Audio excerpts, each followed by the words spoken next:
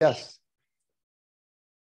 Okay, great. So uh, that leads me to, okay, so I'm going to give a talk then on, on when I get to share screen um, on data processing. And, and as Shelly and I mentioned, this is, um,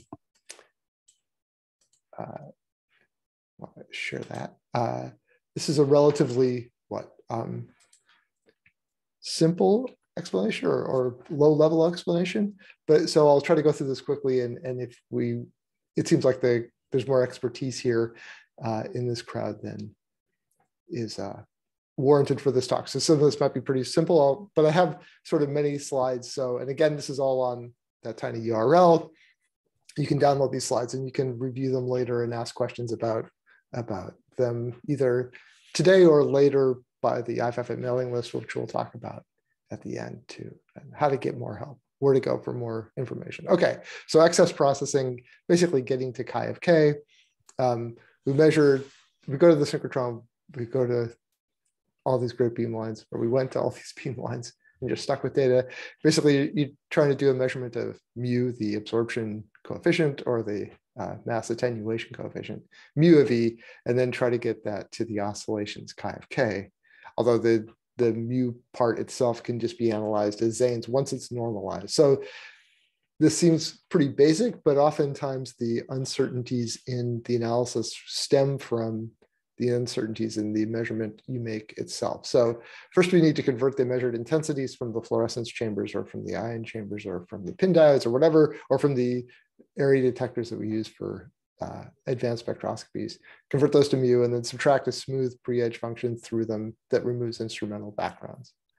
And then we want to get a normalized mu so that we can get the absorption from one atom or one idealized or the average atom of that species. And that would, that would be what we use for analyzing XANES, so the normalized mu. And then to extract the XAFS, we have to do this background subtraction step, which is a bit tricky and, and uh, or often often viewed as tricky and and challenging. Um, it doesn't need to be that hard, but we'll we'll get to that. Then we went Fourier transform, as Shelly showed, that sort of like gives the aha of understanding XAFS by doing the Fourier transform to look at the oscillations, uh, the frequencies of the oscillations, the R values of the oscillations, and then after that we might model that with calculations for uh, the the XAFS. So we, we we will do all of these steps and X, the XAS viewer application in Larch provides a GUI for doing most of these steps. You can also do this in code as we'll show. Um, and, and that sort of goes to whether you're doing this one at a time or you want to do these a thousand spectra at a time. But we want to be able to do data visualization throughout many of these steps anyway. So do, using it through a GUI and getting started with that is the right thing to do. And then you might want to automate that. But we'll want to like read in the data and then you merge data and data from the data files from every beamline are slightly different and what the channels are called are all slightly different. There's a there's attempts to codify that and standardize that, but it's it's still uh, pretty pretty unique to each beamline or each each beamline has a unique data structure. So you need to like be able to read in the data and know how to read that in. That often involves like some work and some interaction with the beamline scientists. Then you need to like get the data normalized and find e zero make sure you're on the right track then convert it to chi of k here and then convert it to chi of r. And there might be some other things we need to do along the way before we do XANES analysis like linear, which are mostly based on linear uh, algebra or peak fitting. We might want to do some corrections like deglitching. We might want to align the energies if the if the monochrometers were drifting or if we're comparing data between beamlines where the energy calibrations might be different. There are some corrections you might want to make for data collected in fluorescent mode or even in transmission modes, or and you may need to smooth rebin or merge data together. And each of those steps is requires a little bit of thought. Uh, most of them are pretty well automated, but um, but often require thought. So Shelly's going to go through like what the buttons do, like just to say you can read in data and like get all these kinds of visualizations from the graphical user interface. Um, and we'll go over that in the second half of the morning. So what we want to do to start with is we want to get transmission or fluorescence XAFS, and that's like we measured a signal in the ion chamber downstream of the sample, and we measured a signal before the sample, I0 and IT or I1. And then we, or we might have, for fluorescence, we might have measured many channels at the same time uh, and also an I0. And we want to like sum those and divide by this. And so it's simple math, but you have to get it right. And if you if you don't if you don't get this right, then your all your analysis kind of suffers. Um, it can suffer pretty badly actually. So the getting these steps right is important. And oftentimes once you have a set of data from one beamline, it all works in the same way. So it's not so much that you have to think about this for every time, but you have to think about this for every like sort of data set that you have um, and get the data read incorrectly. And then you may need to do, as we said, you may want to merge data. You often take three to 15 scans at a time. And you might want to add those together and merge them so that you're analyzing one spectra that is the sum of them and you may also then want to make sure the energy is calibrated as the, there may be drift with time at some beam lines, or there may be, or there will be differences between energy calibrations at different beam lines. Um, you, so you might have a reference channel where you measure a, a metal foil, say, downstream of the sample. That's not always possible. So sometimes you measure it once and then measure the samples. And many beam lines these days, there isn't much drift, so you don't need to do this all the time. You might need to do it once a day or maybe once every three days. But you might have a reference channel. Then to compare data between sessions or beamlines, you'll want to calibrate the energies and make sure that those are consistently uh, set. The energies are consistently set. Um, we, to, in, order, in order to do XANES calculations, you want the energies to really line up to better than a half of an EV, and it's often you often see drifts at that level between scans or between beamlines. So you, you really want these to be finely aligned.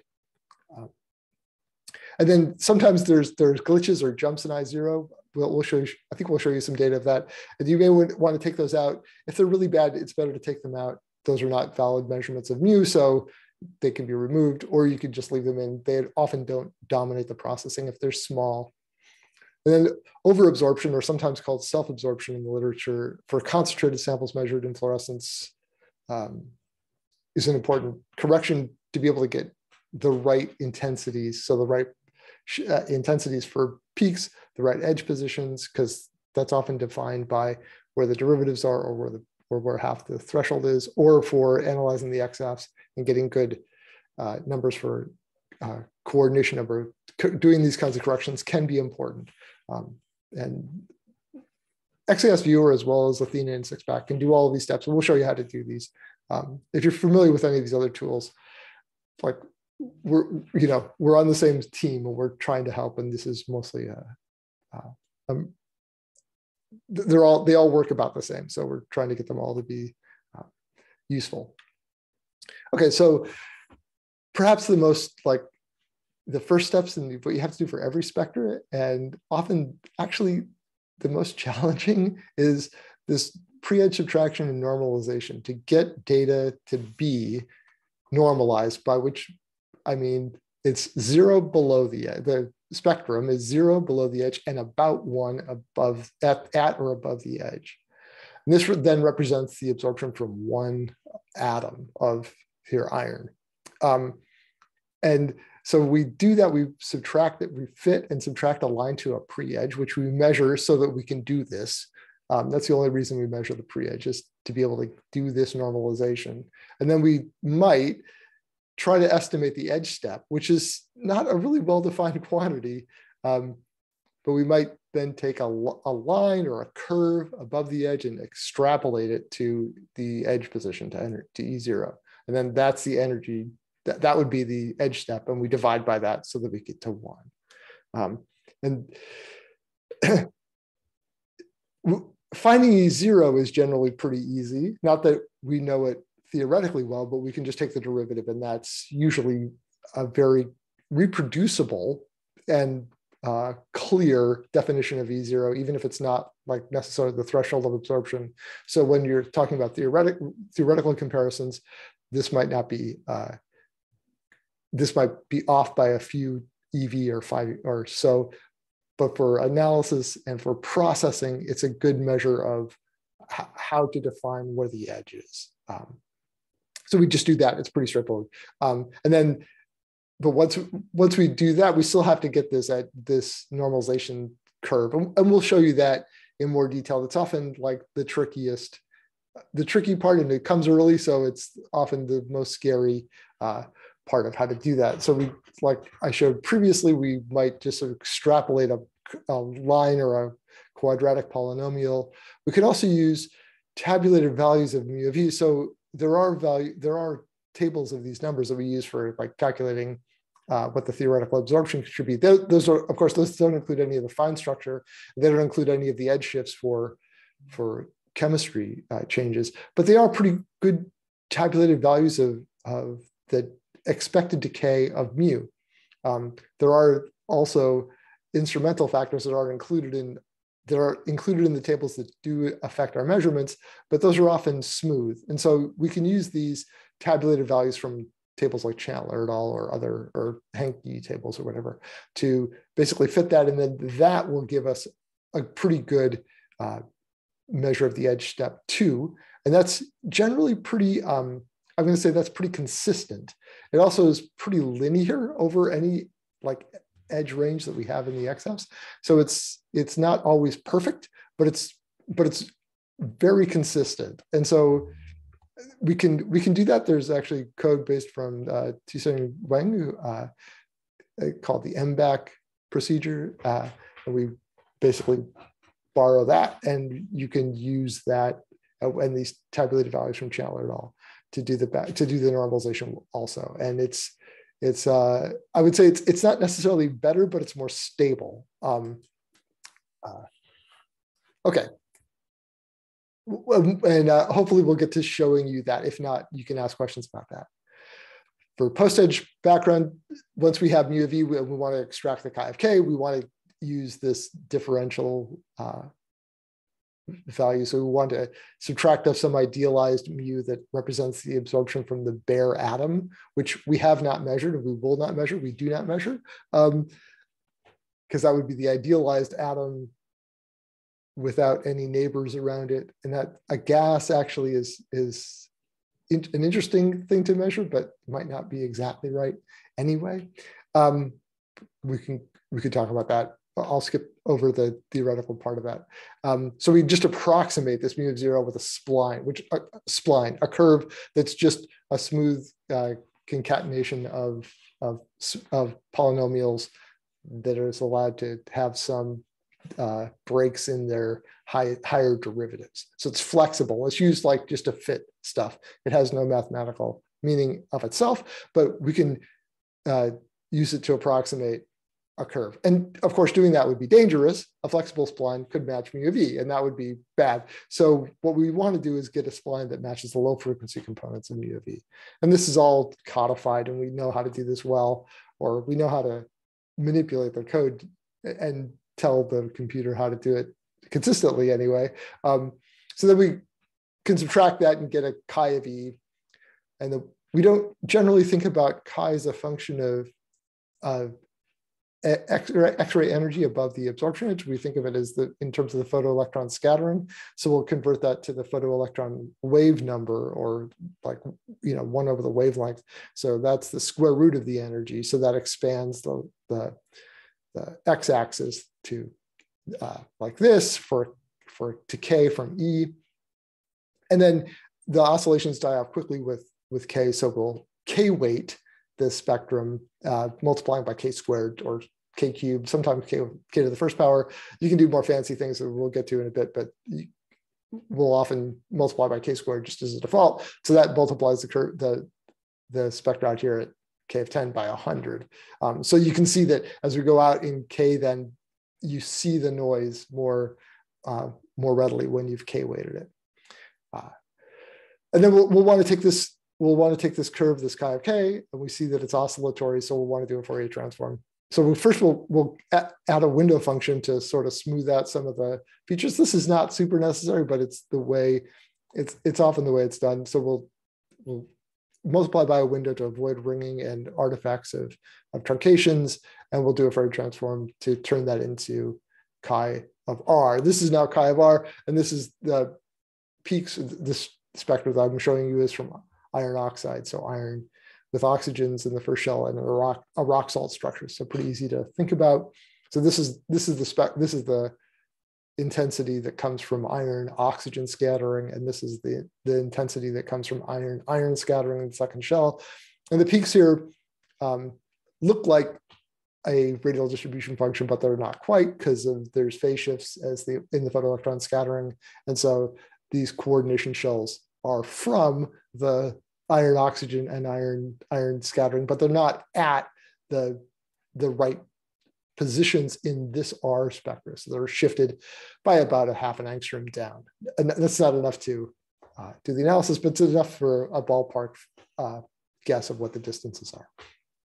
And then the Fourier transform we did was complex. Actually, there's oscillations where this just shows the magnitude. That's the most common view that you'll see in the literature. But when we do the analysis, any analysis of these, we're going to include the oscillatory part of chi R as well. Now, there's both real and imaginary parts. They're not different because the because the imaginary part of the of chi of k, the thing we measured is zero. So the real and imaginary parts are not distinct. They're just out of phase uh, from each other. Uh, okay, so we might also want to do continue and do what's called Fourier filtering. You'll see this especially in the oldest literature about XAFS, where we'll then do another Fourier transform of just isolating this shell, say the iron oxygen shell, and then Fourier transforming that back to K space. And that's the isolated oscillation from iron oxide in this space, in this case. Um, this is a common, this is, has been a common thing to do. It's not really that exciting or useful, but you'll often see this in the literature that people will plot these. Um, when we do the analysis, we can do the analysis either in R or in this in this filtered, uh, now filtered out uh, uh, K space. Uh, okay, so that's that's like what I would want to say, and maybe it's best to like uh, stop here and pause for questions. In this in this set of slides, I have a whole lot more details on background subtraction Fourier transforms and a little bit on, actually, I don't think I have much on, on analysis here, but there are a lot, there's more slides that I can show you on the details of this. Um, but I think this is a good time to pause for questions. Um, Shelly, are there any questions? Or I could go into details of this.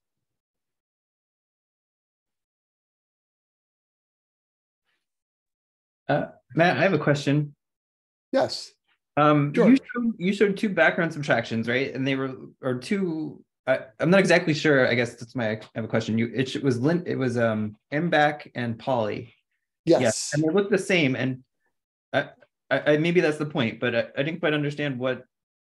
Ah, this is to do, this is just for normalization. So when we do the normalization, right, so we track, we can subtract the pre-edge line, and then we can take a, a curve, usually a line or a quadratic polynomial, and just fit it to the above edge and extrapolate that to zero. That's one way to do the normalization. This other way of doing the normalization, and so I would call that the polynomial way of doing the normalization. The other way of doing the normalization is to take our spectrum and fit it to the tabulated values of mu of e. Um, ah, okay, okay. I thought you were already getting into the um the the XAFS background subtraction there. Yeah, no. So th- so this is those are the two different ways of normalizing. I see. I see. Um, yeah, and again, that and like the point there was that the, the polynomial might be more accurate if you work at it hard, but the MBACK is can, is pretty consistent. Um, Got it. Yeah. So um, there's a question from, are there any circumstances where you could use the white line peak as the edge? Would the normalization and analysis still work? Yeah, if you use like the energy of the white line, that that can work. Um, I think that uh, it's not that common because to do that, uh, mostly because that position can actually move. It, it, might be that for some metals or for some metal oxides, that's a good thing to use. And it's certainly a good energy to know about.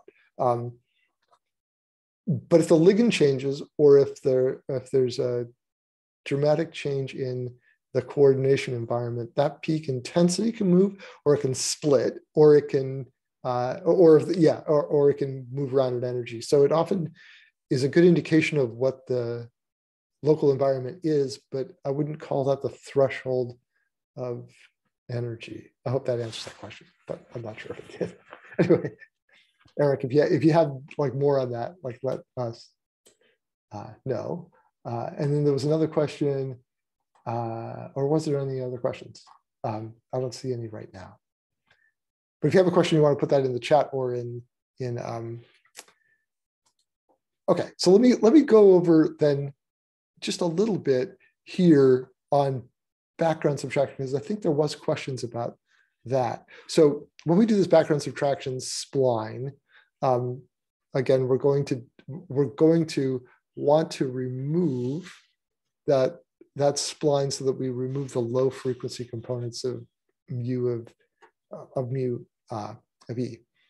So we have this one parameter that we call a, a distance, r bkg, that says take the Fourier transform and try to remove or reduce all of the components in the Fourier transform below that distance. So if we say RBKG is 0.3 angstroms, we'll get a spectra that looks like the blue curve here. And if we put that value up to one, we'll get the red curve. And you can see that actually like for most of the spectrum out above two angstroms, there's there's really tiny differences. There's not any difference at all, but we've removed this this low frequency component. And here in the chi of k, that's the same thing. You can see there is you can see that there's a low frequency component that is there that doesn't really affect the high the higher frequencies, but is there. And so some of this is cosmetic.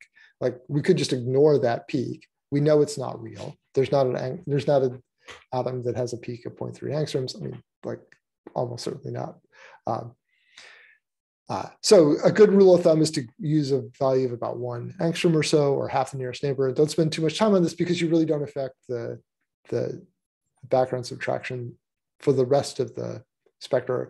The, the counter argument is actually um, hidden in this data set, which says oxygen is the first neighbor, and there's this asymmetric peak that's typical for oxygen. So if you see that, you want to make sure that you don't like start digging into that peak too much because you'll take away the core, the much of that peak. So the real danger is to is to go too far. Um, so in fact, with this spectrum, same spectrum, if I make RBKG of two, then that's that gives the green curve. Again, it hasn't really affected the higher uh, frequency, the higher R components, but it has removed effectively the iron oxygen scattering. Um, and in fact, like if you look at that green curve there, it actually looks pretty good. It's just removed like some stuff, but it turns out that that's the iron oxygen scattering that might be the thing that we're the most interested in. Okay. Um, and then there's also Fourier transforms, and we like there's there's a bunch of information on Fourier transforms. If Fourier transforms are are new to you or you're like interested, you can go through these and these slides and and see what, what a Fourier transform looks like in in in the different spaces. So here's a sine wave, here's a cosine, and when we Fourier transform, they peak up at the same place, they're just out of phase. But if we change the distance, that pushes it uh, out. And then we have this, oh, and then if we add to, if we take two uh, uh, oscillatory functions that are nearly the same distance, and we add them together, we get this, this beating pattern here. You see the decay and then it starts to grow again as they come back into phase. And when we Fourier transform that, we, what was two distinct peaks becomes what was two distinct peaks becomes one broader peak with much lower intensity. Um, and so this is something we'll see in XAFS all the time. And that, that actually then indicates what, uh, what we have to do to be able to resolve two peaks that are close in distance. And that is we need to have them, we need to go out in K far enough to distinguish these two cases. Um, uh, of is that just a short peak or is it because there's two different frequencies. And so the, the relationship between how far out in K you go and how well resolved you can be in R spaces is clear from that's well known in Fourier analyses uh, in other fields too. And then we use a, a, variety of window functions and we Fourier transform those. And you can go into detail, all the details of this. I would say the important thing for this is just to be consistent and, and not get too hung up on, on how these look different uh, there's lots of there's there's lots of choices and they don't make much difference except for that but but k weighting here here's different k weightings for of zero, one, two, and 3 again with the same spectra and you can see that as we k weight we emphasize the high that emphasizes the high K stuff. The high K frequencies are also the, the heavier atoms. So that emphasizes the heavier atoms at the expense of the lighter atoms. Um, and that can all be used for good effect or for or to hide, but can also like hide things that you really ought to not hide. Okay, um, I think that I should allow Shelly to get back in the game where uh, and stop the share. I think if I if there's anything I've missed, oh, we can also do wavelet analyses. Uh, like maybe that's an exact, maybe that's an advanced question. Um, and then yeah, there's more. There's more here of places to look for more information. And why don't I stop sharing? And Shelly can go back into the Larch buttons uh, piece of this.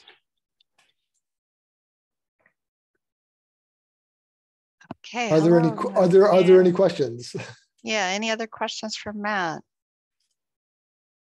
Uh, feel free to use the uh, chat to everyone or just directly to either of us. It's fine too. Or just unmute yourself and say hello. Any questions there? Okay, so Shelly's going to go over if if that's going to work. Is that going to work, Shelly? To I go over some so. of the Some Okay. of the buttons? Yes. yeah. Okay. Yes, yes, yes. Let me put my. Here we go. Um, share screen.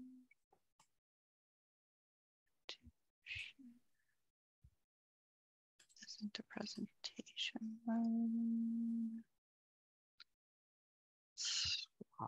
Around again. Okay. So um, I prepared this um, as a uh, as a presentation. Um, we could also do it in in real time, um, but I thought maybe for those of you that have never used um, never used Larch, it's sometimes it's helpful just to uh, kind of get an, a, a large overview of where where and I, I uh, modified my title because I couldn't do all of them, but uh, some of the buttons in Larch. And uh, just wanted to give you um, a flavor. And then um, this afternoon, we will get into actually using Larch to show you the um, how, how this is all done in real time. So uh, with that, I'll go to my next slide and also get the pointer and try to go to the next slide.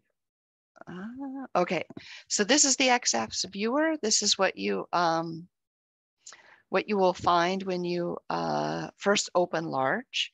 It has um, a, a lot of similarity to um, to Athena. You'll notice that right away.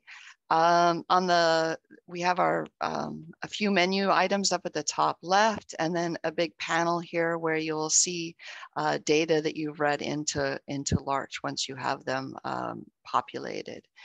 And then on the right-hand side, you have some tabs that allow you to, to have different uh, visualizations of different screens. And it goes all the way from normalization all the way to the FEFF fitting uh, directly in one uh, application here. Um, up at the top is how you can plot the data. You can either plot data, um, plot the current group that's highlighted on the left side, or you can plot um, selected groups by checking a checkbox next to their names. And uh, the type of spectrum that you show, there's a pull down menu with lots and lots of options here. I'll show that in, in a minute. Um, the next step, the next region here is all about, um, it's all about the uh, data set and um, the energy shift value, the, the value for E0 on the absorption edge, and the edge step that is uh, calculated for you to normalize the, um, the data. Uh, the next region here is about the pre-edge range. Um, this tells you which uh, data above the absorption edge is used to determine that uh, that spline, if you uh, if you will, and then oh, I'm sorry, this is pre-edges before the absorption edge, and then the normalization uh, method and range is shown in in in this part uh, here. All right. So maybe the first thing you want to do is read in some data. So that's what I'm, uh, I'm showing you here. You go up into the file menu, open a data file that brings up this dialog shown on the right-hand side, where you have uh, quite a few different options. And uh, Matt alluded to this being one of the most tricky parts um, of, of reading the data into, um, into Larch. And so um, one thing I would I would notice is the data type up here in the top right.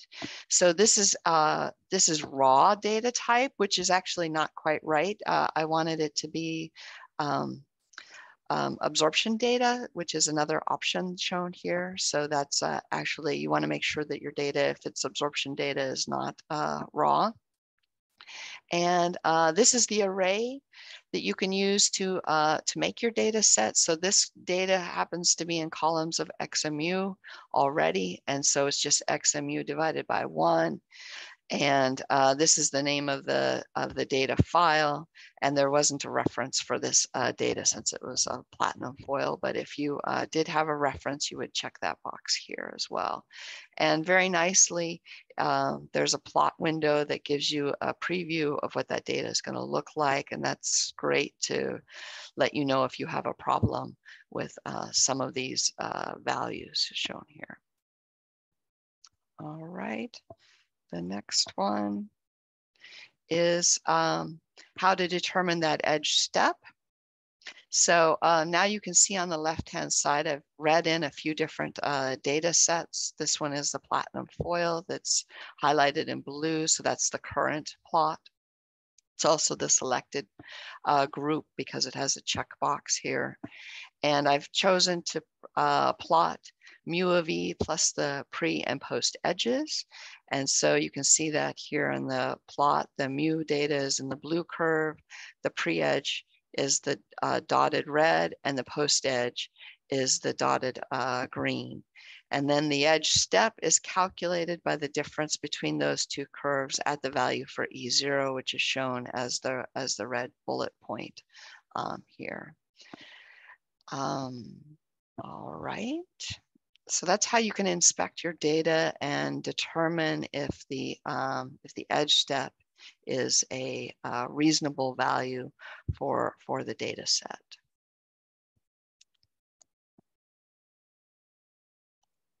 Uh, next, you'll want to uh, show the um, show the normalized data, and um, you can do that by um, choosing uh, to plot the selected groups with just one, or you can use the other group button. I did, I did it that way. And you can see now that the pre-edge is at zero, the post-edge comes up to the value of one, and um, it's uh, properly normalized um, mu of E data.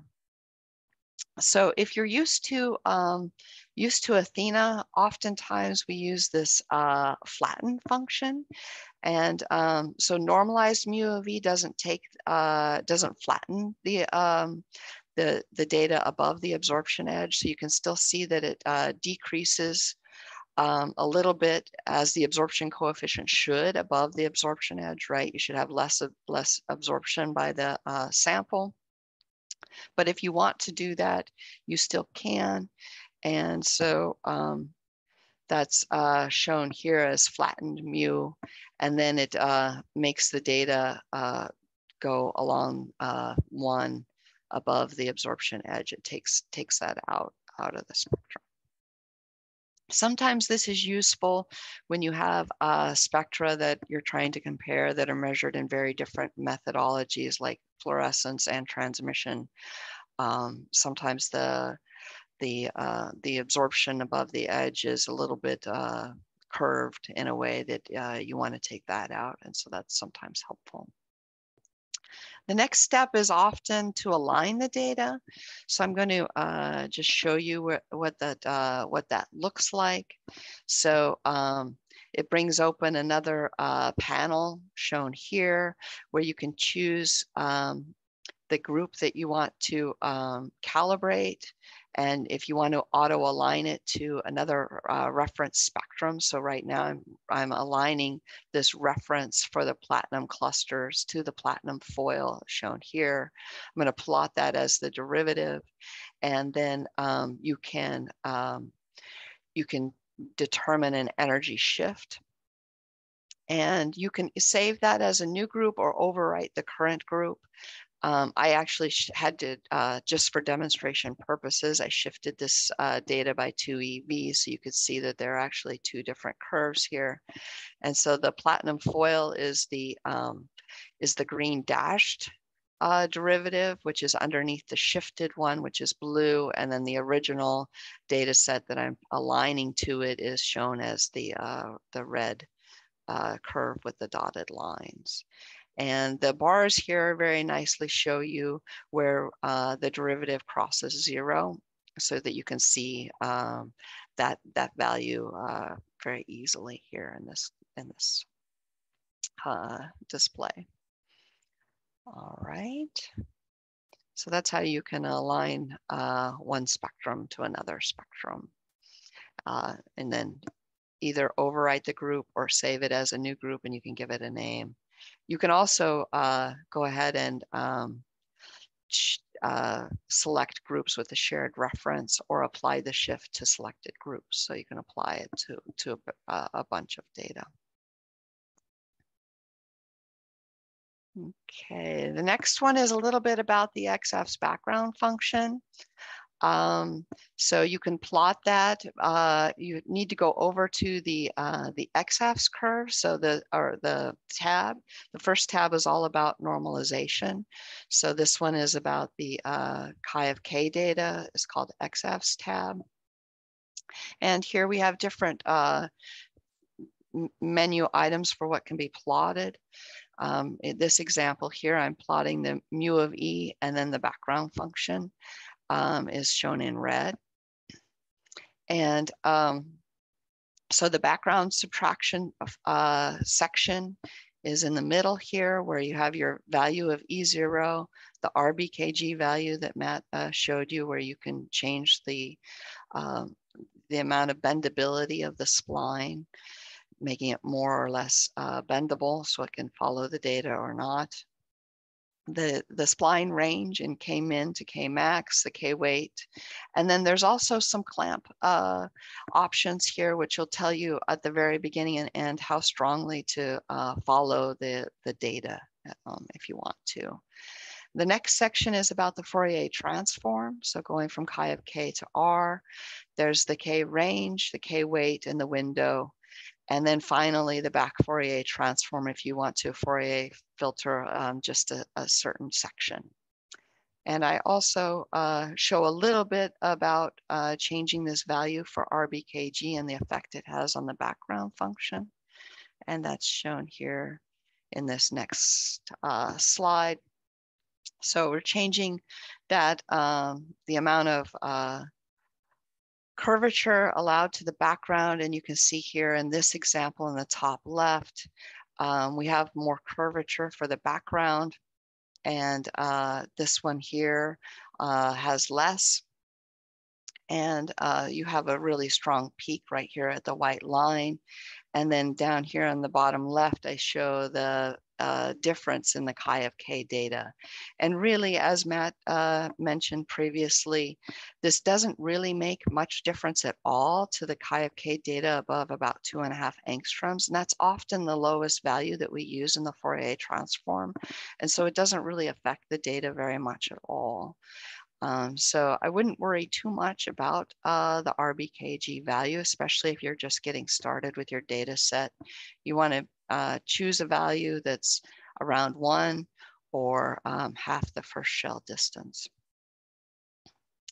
Okay. Um, another choice that uh, needs to be made, made for um, preparing the chi of k data is the choice of E0. Um, this uh, choosing the, the middle point that's shown here in the middle one, that's the uh, maximum of the first derivative, and that's the default value. That's usually a really good, uh, good idea. I just wanted to show this example where I did the extremes. I went to the very bottom of the absorption edge and I also went to the very top of the absorption edge. I mean, really you wanna make sure that, that uh, E0 is somewhere on the absorption edge. It does, this different choice does make a difference in uh, the background right through the absorption edge. And this is, this is a tricky part because the absorption is changing quite rapidly, right? The absorption edge is going straight up and then it's got to go horizontal. And so you've got to bend through these first through oscillations right above the absorption edge, which is kind of tricky. You can see that it does, uh, changing E0 on the absorption edge does change this, uh, the way that background goes through those first few slices. And if you if you push E0 up high enough, you can actually push the chi of k data a little bit. It's emphasized more at low k and less at high k, but you can push it a little bit. But the uh, the important uh, thing again here is that the Fourier transform is is relatively insensitive to all of this um, because we don't use this very low K part of the Fourier transform. And um, when you fit the data, you often vary the value of E0. And so it can account for this small shift um, at low K as well. So um, some ideas there. And uh, my last, uh, or one of my last examples here um, for processing data in um, to k is the back Fourier transform. And um, that's shown, uh, the values are shown here. You can uh, back Fourier transform just uh, a single peak in the data and see what frequencies um, are, are, are included in that uh, signal that's shown here. I like to always show this on top of the uh, chi of k data, which is red. That's the entire um, original data set. The Fourier filtered or back Fourier transform chi of q just of the first shell is shown in blue. And you can really see how it has just a single frequency. And all these decorations with the higher frequency data have, have been removed. But if you increase the um, back Fourier transform range to include all of that, those higher frequency components, then you can very nearly match the, the initial data. And here you can also see the effect of the Fourier transform windows and the K range on the Fourier transform data because you, you don't have uh, this very low K or the very high K has not been uh, included because of the uh, the window and the K range that you you've you've chosen. So that's the three to 14.2, and then the window as well uh, gradually brings this up, and you can see that as well. So there's a the the back Fourier transform has a little bit less amplitude here compared to the original because of the window function. All right. Uh, the next step is a little bit about uh, FEFF fitting in Larch. Um, are there any questions on this first part before I go into that? I don't know. It looks like maybe there's a question or two in the chat. Maybe, maybe not. I answered a couple of questions in the oh. chat, but um, okay. but if George or Deborah want to, if that wasn't clear for George or Deborah and they want to ask, that's, okay. Well, I have a follow-up question. So does that mean that I could import like an, an alignment scan in Larch and actually, because I know in Athena, I can't do that. Is, is that something that Larch could handle? Yeah. Oh, awesome. Okay. That's nice. That's why, that's what, that's why we do it too, because you want to see those, you know, alignment scans or, or when we're doing, when we're doing HERFD, like we'll do scans of emission and you want to be able to read that in, at least to visualize it. So. Mm -hmm. Yeah. Cool uh, following up with the George's question, is uh, are you going to show this? I'm sure Matt could do it for us. I don't think I, I want to I do will, it on the fly, but Matt will do it on the fly. I'll put I'll, you on the I'll, I'll see if I can find something. Yeah, I will. Yeah. Or if you can, if you can share data, yeah, find find an alignment scan for us. somebody. I'll go, I'll go. I'll go dig one up while she finishes her Okay. Yeah. Well, after yeah. this one, we're, we're, we're set to take like a, a short break anyway, ah, coffee break. Great. So, so we can find some data, but so yes, we'll do it. Yeah. Find yeah. yeah. Okay. That sounds good. All right. Okay. So, uh, FEFF fitting in Larch, how does that work? Okay, so uh, one of the first things to do, bes besides getting your data ready and getting the chi-of-k data, is to get a, oh no, is to get a FEFF calculation. Oh, and this is a little bit blurry. So up in uh, the menu, you can choose uh, FEFF and you can do uh, browse your CIF structures and run FEFF.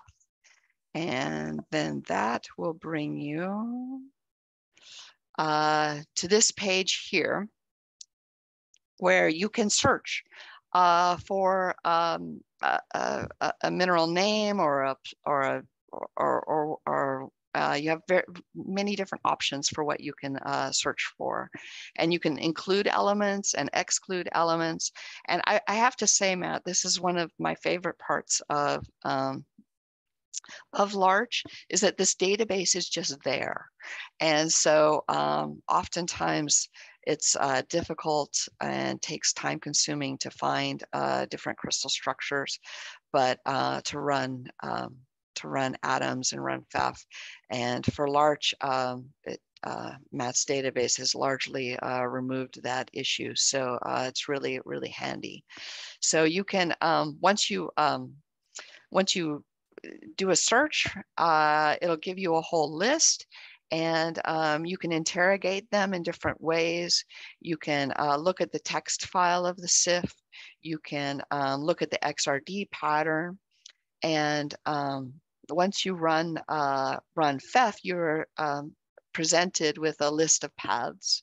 Um, and the paths have different color codings, of course, as, as, as usual and uh, they're numbered consecutively shown here. The, um, the half path length is shown as R, and then the number of legs. So the blue paths are single scattering paths, uh, the red ones are multiple scattering paths, and then the focus paths, which are often very important, are shown uh, in the blue color. And uh, the number of paths, that's the degeneracy shown in the next column, and then the importance. Um, so this is just a quick um, calculation that compares the uh, amplitude of the other paths to the first uh, path. So the first one is always 100, but then you know that this second path is about um, a quarter uh, of the intensity of the first one. It gives you some idea of how important the different paths are. And then once you um, once you do that, you come back to your um, uh, to your um, Larch interface to bring that uh, FEFF path into the fitting, you need to go back up into the FEFF uh, calculation and do browse um, FEFF calculations. And that will uh, bring you back to that same list, but now you are able to select this uh, um, use button and import the paths. And so um, that's how you'll actually get it assigned in the um, in your in your uh, FEFF fitting page, if you will. So um, so that's kind of a two-step process. The first step is to run the FEFF calculation, and then the second one is to browse and import the path directly.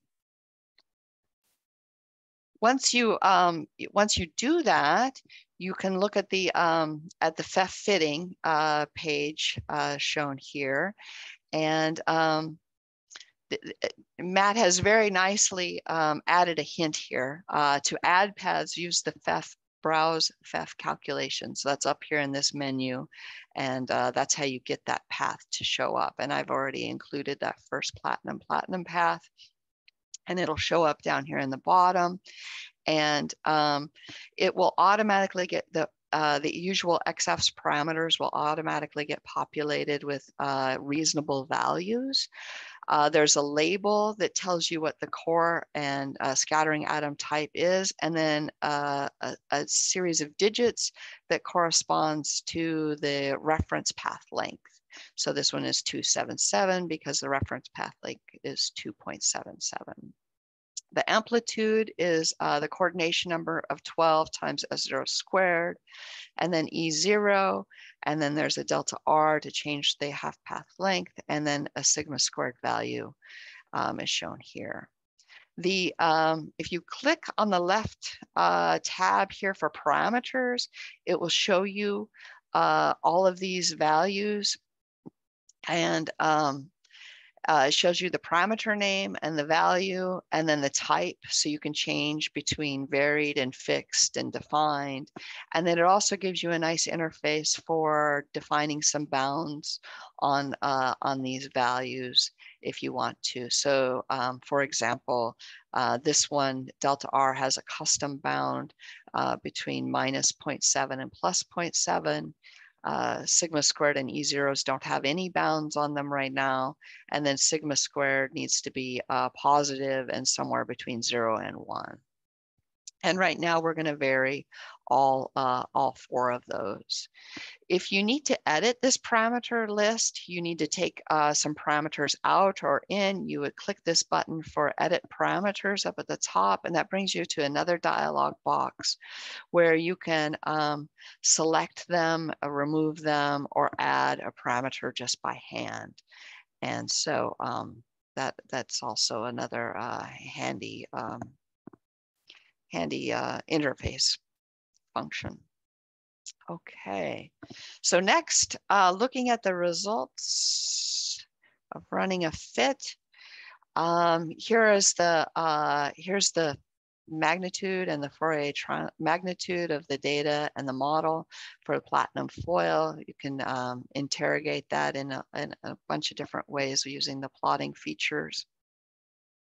The model, of course, is shown in red and the data is in blue. And then you have, um, this is the standard um, fitting results page. It has the features for plotting the data and the fit in lots of different ways. And then it shows you the statistics on the fit. Um, so this one was done, you can see uh, yesterday at 5.30, getting ready for this uh, meeting um, the number of paths, the number of variables, number of independent points, chi-squared, the reduced chi-squared, and the R factor. And um, down here at the bottom, we see our variables, the best fit va values, and the standard error that's uh, shown here as well. All right, if you open up the um, uh, show uh, path parameters button, that'll bring you to a, another report, which is uh, similar to maybe what you're used to in, um, in Artemis. And it gives you a lot of the details of um, how the data was processed and again list uh, those parameters and further down you'll actually see the um, the values for each one of the um, each one of the, the path parameters. Okay, so I think that brings me to the end of this, um, the end of this one. I would say uh, my next slide here is that uh, Larch has all the features that you need to uh, process XAFS spectra, and I encourage everyone to start using it. And here's the URL to get to it if you haven't already. Okay. So that's my section. Uh, are there any other questions?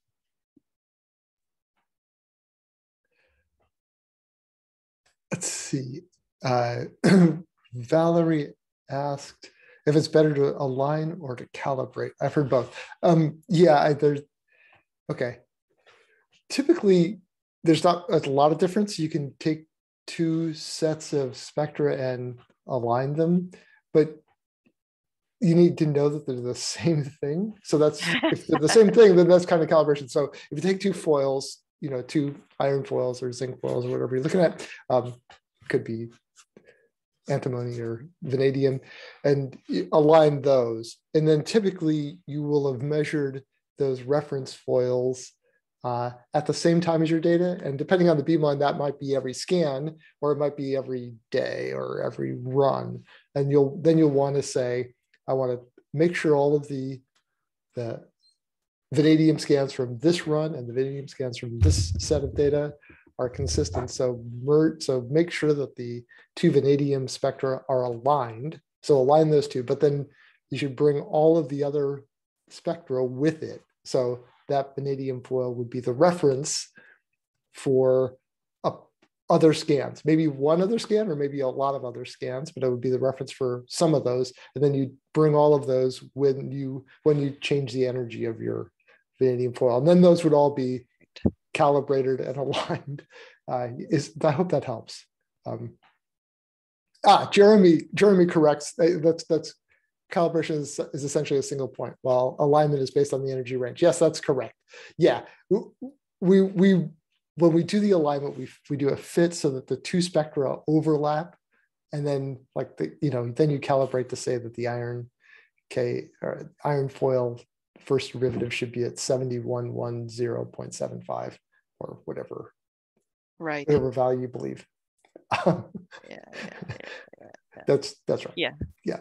Yeah so so in this example just to kind of emphasize that point oftentimes when you um when you calibrate you're just looking for like the maximum of the first derivative and you use that point and uh, shift it so that it's at the value that you want it to be at. Whereas when you're aligning oftentimes you're matching the whole shape of the spectrum to the of the reference to the um, to, to the to the other spectrum if that makes sense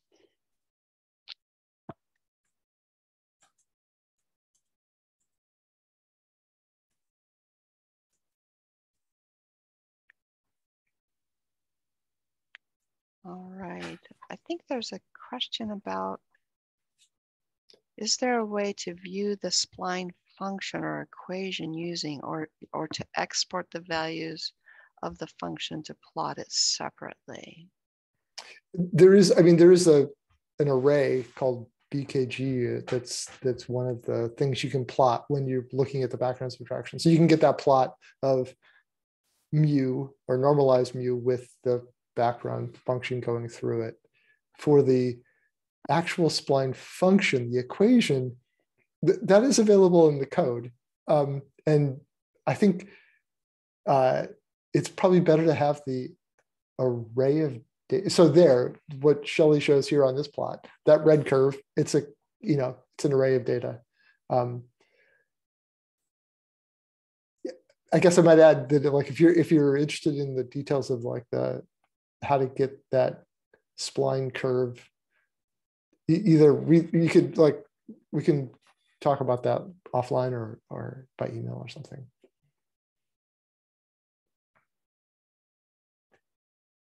And Jeremy asks, can you, yes, can, can you, Jeremy asks if you can import FEFF paths from a FEFF calculation done outside of XAS Viewer. And the, yes, you can.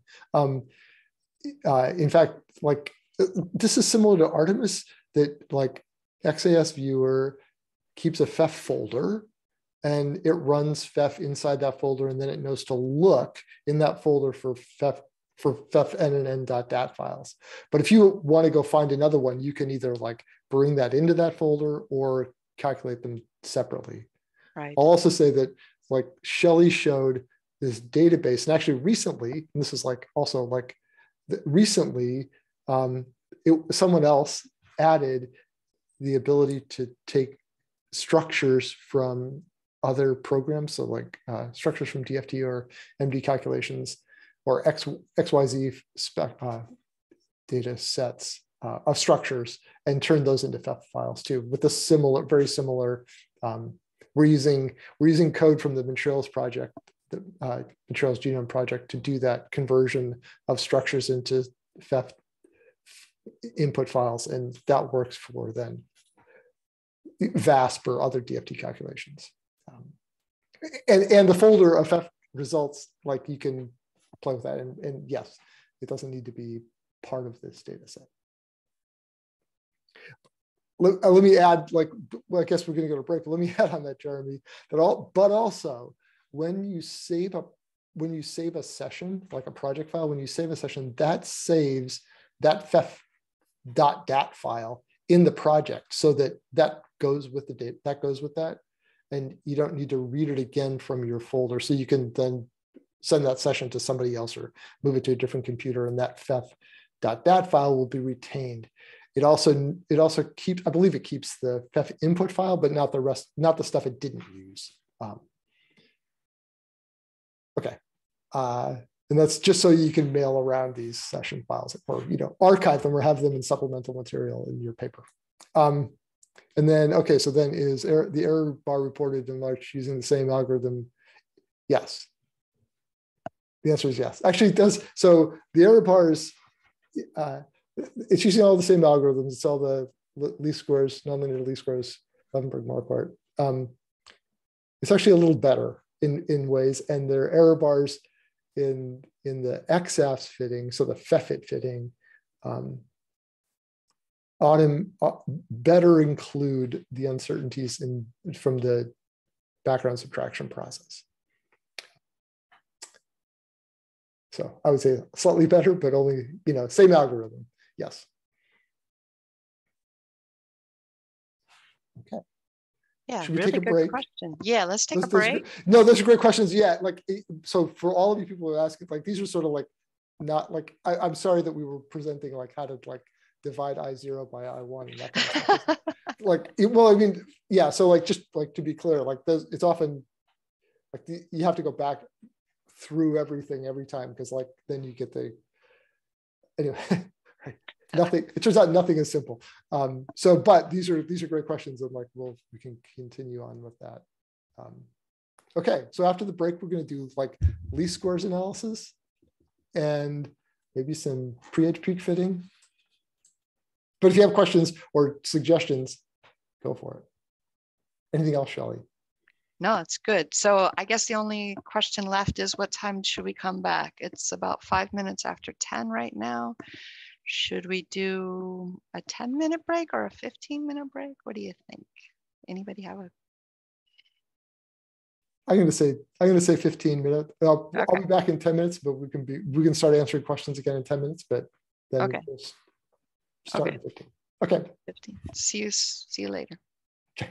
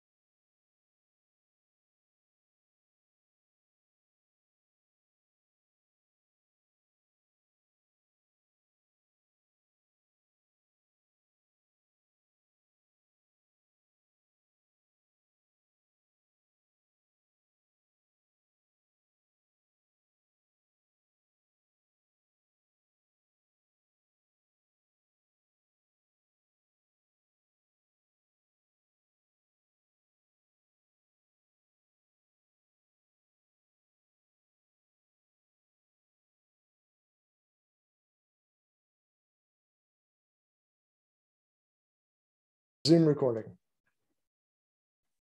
Hi, everyone. We're back from break and we're going to do um, some live data reading, in inputting of data and some, and then getting to some XANES analysis steps. We'll do, start with linear combinations, maybe some PCA work. Um, but I thought I would start with um, this question about reading in non-XAFS data and I'll just show you a couple examples, but also say as like as I'm starting this. So in in this folder, there's some non-XAS data, um, and some of that is actually in energy space. Like this scan is in energy space, but it's an emission XF scan. So here it's it will say that it's of type XAFS because it sees that the energy is values in electron volts, which is how I collected it. But it's actually data that's that's of like the emission scan energy over the analyzers as I'm aligning analyzers. So you can read that in. And if I if I say that this is not XAFS data, but raw data, then and I say, okay, then these should probably be this grayed out. But what happens is that the choice of plotting becomes raw or scaled or derivative or derivative and scaled. And so I can say derivative of that if you want to see that. It's noisy. And then here's a scaling value. So if you have multiple ones of them, you can show the scaled value. So you can rescale line scans or plot scans. So I'll just do a couple more here that we have. These are, this is a scan that we would do for a beam damage test.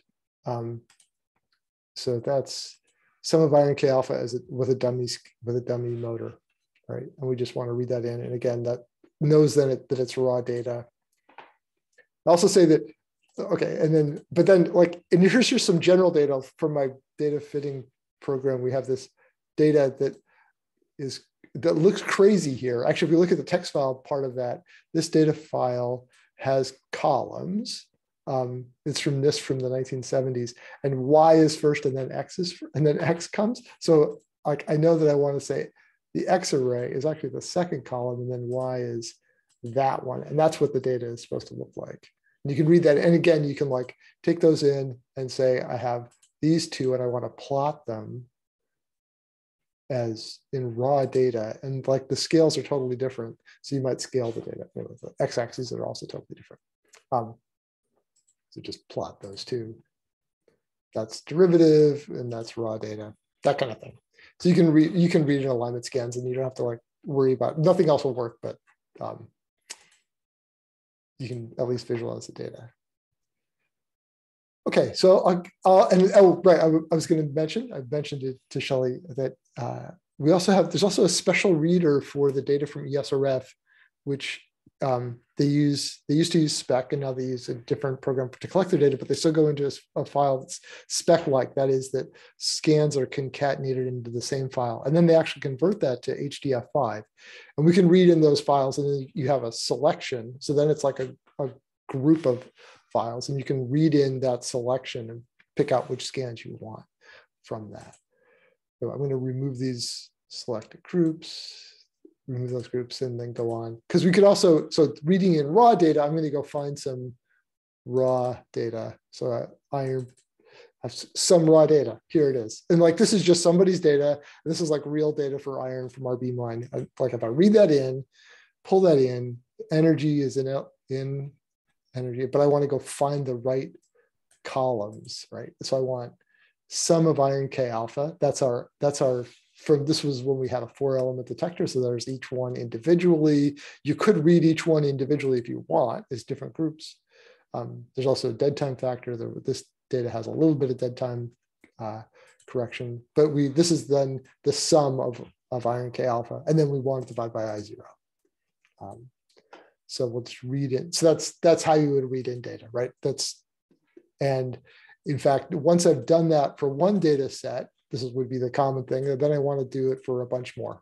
Um, just reading all of those, and it will remember the choice, the previous choices. So it'll say iron K alpha, the same channel divided by I zero. So just so that you get those. I, I, guess I should show you the text files of these. These are data from RB1, which are like ASCII columns, and they're huge. Then there's tons of, there's many, many rows of data.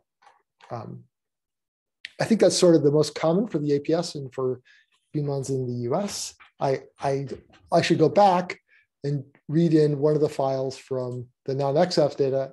I've labeled it non-XAFS, but it's actually is was XAFS data. It was just measured at at Photon Factory in Japan, and it's and it's energy. It here it says it's raw data, but it's not. It's data that's collected with the x-axis is the monochromator angle. So I want to say that it's x-axis, but I want to tell it that it's the energy is in deg- or the x-axis is in degrees. And then if I look at the text file, in that text file is actually encoded that the d-spacing used for the monochromator is 3.11553. Uh, that's good. I so that, that's a little different than what we have for the default. So I might change that. That will change it a little bit. And then if I go read column four, which looks a little weird, but in column five, then we have normal, actually take the log that way. That's normal mercury data at 12.4. And it even says that it's the mercury cis. So you can read in data from in, you know, other, other beamlines. So again, as I was saying, from ESRF, we read in, we have a reader for HDF5 data. Um, and if there are other formats from the data collection systems that you have that either you want specialty or readers or to be able to adapt what we have, it's pretty straightforward. I'm going to get rid of this one group just because then I can select all stuff. So I'll remove that one group. So Matt, data. Matt, yes. how how how uh, how generic do you think that HDF5 reader is? Because HDF5 is um, the structures of those files are pretty uh, specific. Um, right. Could I guess the H, I guess there's a question here from Eric about um, 12BM that also does HDF5 files so I don't know what HDF, I, I, don't know about, so I know that the data that was collected at 12BM uh, a few years ago in like is files of ASCII, we could read. If you have data from 12BM that's in some format, just send it to me and we'll see if we can get it read in. To the, okay, so the, the other question, um, the ESRF folks have a data format for in HDF5. And yeah, so HDF5 is a generic, like just a directory of stuff, and then you have to know where to find stuff. We can read in the HDF5 ones from ESRF. Actually, when I collect X-ray fluorescence maps, it might be one that also uses HDF5. We can read in those, but like it also knows how to find stuff, and that's not XAFS data, but there are programs for that. There's actually an effort, and I, I called NeXus to like establish good tags for for different data sets and we're i've kind of got roped into like working toward um, working on the definition so that we have a common like schema in the HDF5 file to, to be able to encode XF data and, and then know how to read it. Um, so a generic reader for HDF, I'm not quite, we could probably get something like that. Um, but we can definitely read in HDF5. And if you have specific data from a beamline, we can definitely make that work. And, and even other, other data formats too. Um, hard. It's not that hard, but also like basically any ASCII file is, is probably supported pretty well. So, okay, so, so, Matt, uh, just mm-hmm. a real quick back on that. Um, so in Athena, there were these plugins that uh, you could enable that would en- allow you to use the actual reader. Does uh, Larch work similarly with the plugins? It it doesn't. It it has a sort of a different way of thinking about that. Um, but we could definitely get better. Uh, it has a different thought about plugins.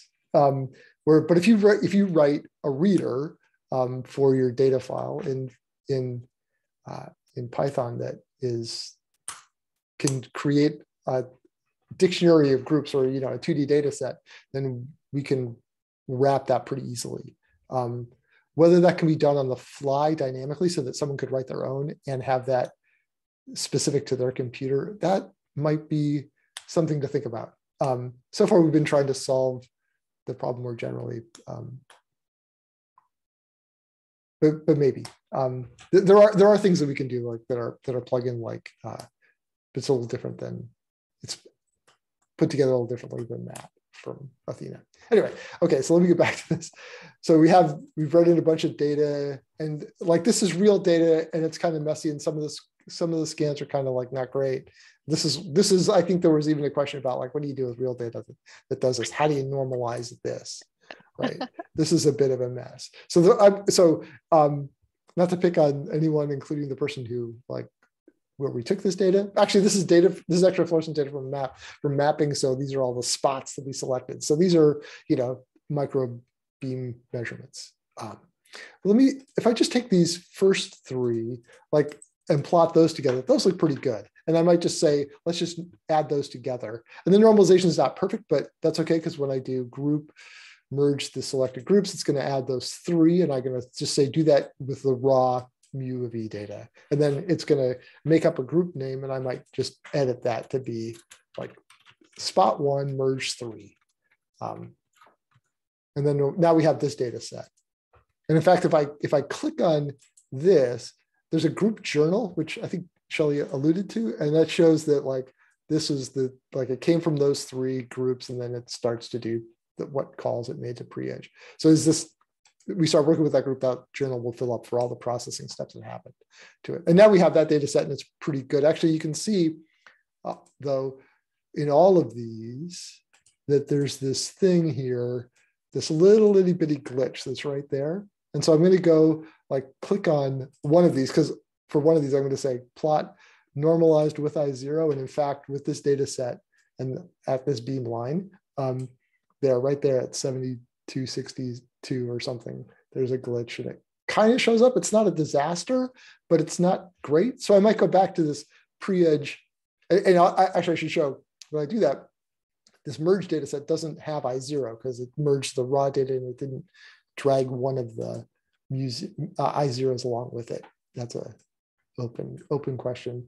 Um, so I might deglitch that data. So I'll go here to data and the first menu item is deglitch the data. And now I can go like sort of zoom in and like pick a point. So I'm going to click on the, the little pin, select a point from the plot, and that's then go over here and click like that one.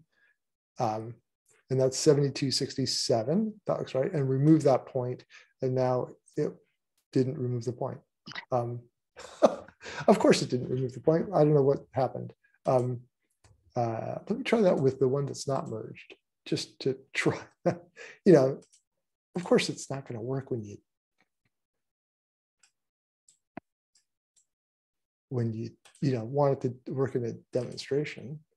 Remove that point, and it didn't work. I don't know what's going on. Uh, save as a new group. Does that work? Nope, that totally botched. I don't know what's going on. Something's wrong.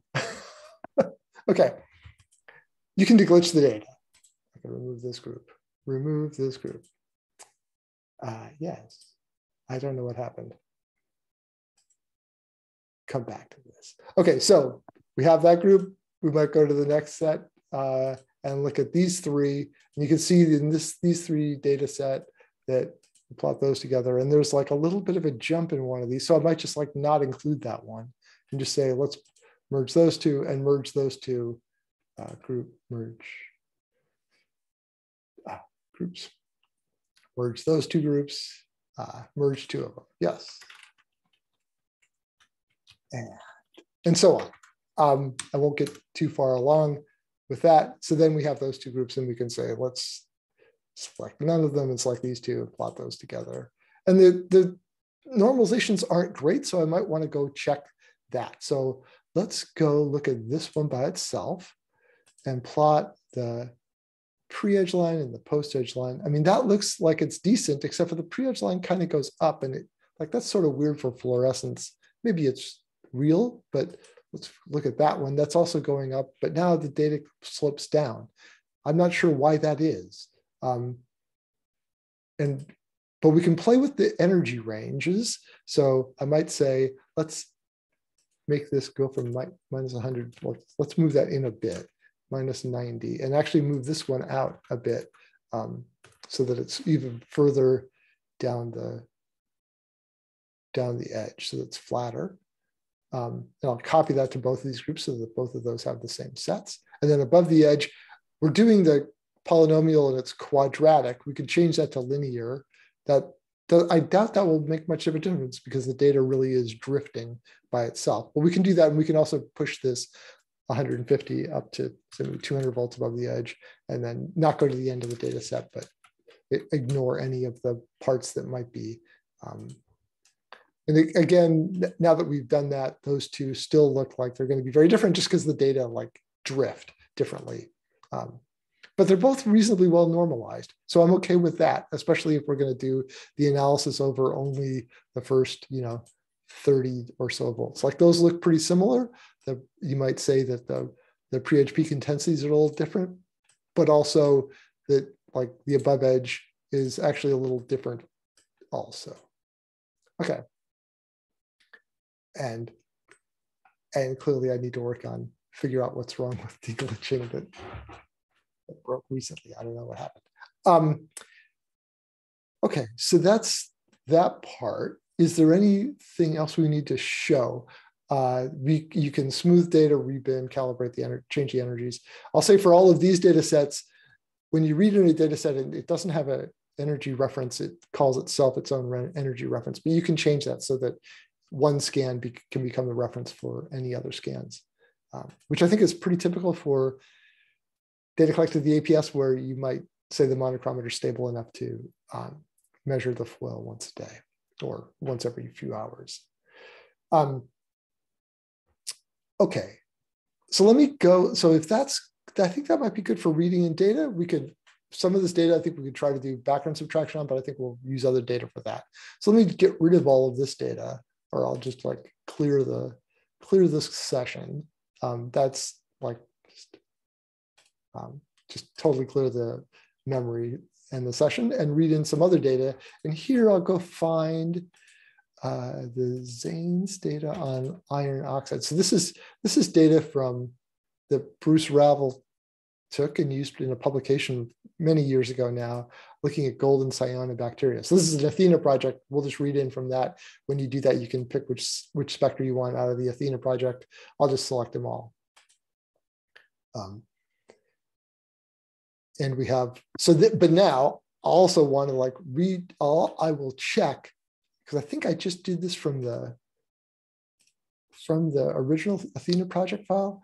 And I think I want to go through and and check all the normalizations on these because if I select everyone and look at uh, the normalized, it's also this, and this is a common thing we see that like the data is pretty good in the XANES region, but it sort of is all over the place in the if you go far enough out.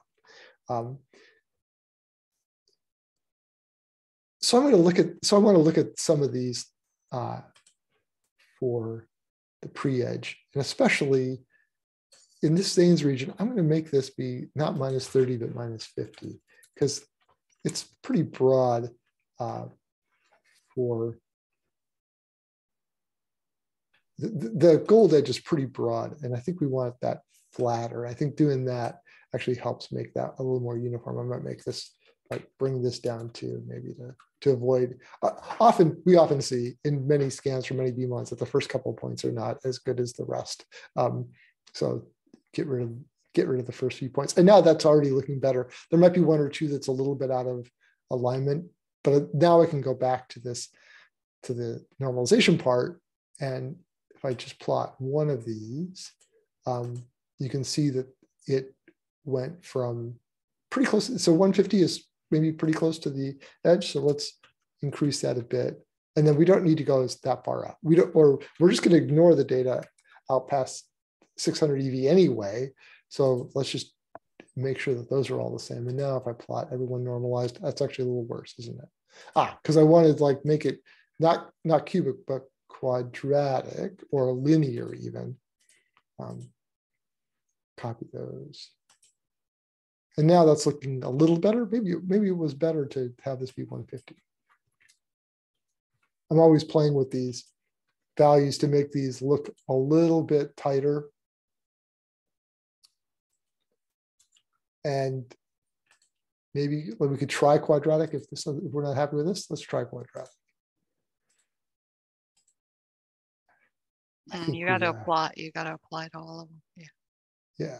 I, I that's looking a little better because now so it, they're still diverging out there and a few like it looks like there's a few different ways they diverge. But if I just focus in on the first few hundred EV around the spectrum around the edge, they actually look pretty good. There might be one or two that I want would want to like redo by hand. Um, I guess I should all uh, like on the plot when there's a lot of things plotted, you can click on the label and it will turn them on and off. So there's one data set here that looks noticeably uh, out of out of character with the others for how well um, normalized it is. So I might just like go look at that one, number 33, um, and tweak its just tweak that one. Ah, see that one's swooping up. So I might say that, let's say that one should be linear. And now if I plot them all, does that make that better? That makes it a little better. Uh, so that one had to be treated specially because it was a little odd. So we'll just leave it like that for now. And, and now the question is, um, can we do linear combination analyses for these spectra? So here, the, these ones with the names or the ones with the, the, the data sets with, that are numbered are just, that's the unknowns. And then they ran a bunch of model compounds. Um, so if we just look at the model compounds, so if I go here and do, you could say select none above. And these are just then the model compound. ah. Click on that. These are the model compounds. And we might want to say that one of these, each of these spectra, say number 703, is some combination of those. so there's a, you, we could go over here and into the linear combination uh, panel and say between, for in using normalized data between 11,875 and 12,015, we want to take some group of data and see if this is a, a combination of those. So we have a lot here. I'm going to be just a little judicious in, in which ones I want. So there's gold chloride and there's gold chloride aqueous. In fact, if I go back and just look at those two, uh, these two are pretty similar. Those are pretty similar. And then like the th everything with a thio in it and the sulfide, like those are pretty similar. Not like okay, the si- like those are pretty similar. So I don't know that we actually need like we're going to be able to tell that that there are multiples of those in these spectra. But so I might just take like sort of one representative, a sulfide, cyanide, hydroxide, and one of the chlorides. I plot those together. Okay, now we have a, sort of a lot of variation. So I might just say, let, let's just start with that naively. Let's just take those sets. So use selected groups as components. So I'm going to say, oh, I want the foil too these selected groups of components, right? So foil, chloride, hydroxide, cyanide, and sulfide, and then take this, go to one of these spectra, I'm just picking one at random, and say fit this group. So it's going to start with a guess of 20% of each, and then it will bring up this, this uh, results page that shows uh, a bunch of fits. I should fix this too. Uh, on Windows, it like, okay, here's fit number one, which has foil, chloride, hydroxide, sulfide. And fit number two, it actually went through all the permutations of set of sets of three and four and fit them all, and then ranks them by chi-square. So which one is best? Um, and these look, they all look like decent, but they also, for this set of data, um, they're not perfect. Like this data set has something else going on. So there might be something that we're missing here, but you, you can see that like concluding here that you have 25% metal and, and a good amount of chloride and a little bit of hydroxide and sulfide would be totally reasonable. And you could definitely also say then, okay, so select none and select all of these and do the same do the same kind of fit to all of the groups. So same data range with these as the as the standards, fit these. And you could allow an energy shift. I would shift the unknown to match the energies. I'm going to like leave that off. These are pretty well calibrated, but it, you could allow that to happen. Fit all combinations. I'll say yes. And then you could also force the weighting to be some to be one. I tend to leave that off and then use whether the sum is actually one to, to as a check of sanity or goodness of fit. So in fact, for this set here, for this data set, I didn't force the sum to be one, but here the sum is 1.004. That's pretty good. And like all of these are pretty good at getting to one, even though that wasn't a requirement in the fit. Um, so that says that the, the normalizations we did were actually uh, pretty close. So here I'll just say fit the selected groups. Now it'll fit all of these. And then over here in this page, there'll be a list for each and a, a group of, of fits for each group. Um, and we can see the fits for 241 or 242. And that also like includes, like here, there's no gold metal at all. it was allowed to happen, but the best fit does not include gold, gold metal at all. And for this one, there's plenty of gold foil, 40%. There's chloride, there's hydroxide. In fact, there's there, we'll see actually throughout that like the same components, but but we, we were pretty limited what components we let it fit. So another question you you might ask of this data set is how many different how many different components are there well, did we? I, I just, you know, I picked these by hand, by eye, maybe by intuition, but that's not a very that's not a very satisfying way to look at the how many how many different components there are in the data. So using principal component analysis, so PCA can help answer that. So if I take these unknowns and say also similar, actually, I'll, I'll make these, wait, this was 80. I thought we did the fit from 75. I think we did. Um, as long as we're consistent, doesn't matter. Okay, so we'll say, let's say in the normalization range from 880 to 1220, fine. Um, let's take these data sets and find the principal components. So if you're not uh, familiar with this, I'm going to say build model with selected components. So we can go over what this does. It takes, it's going to take this data set uh, of, of these seven, um, eight, eight spectra, and it's going to first take the average.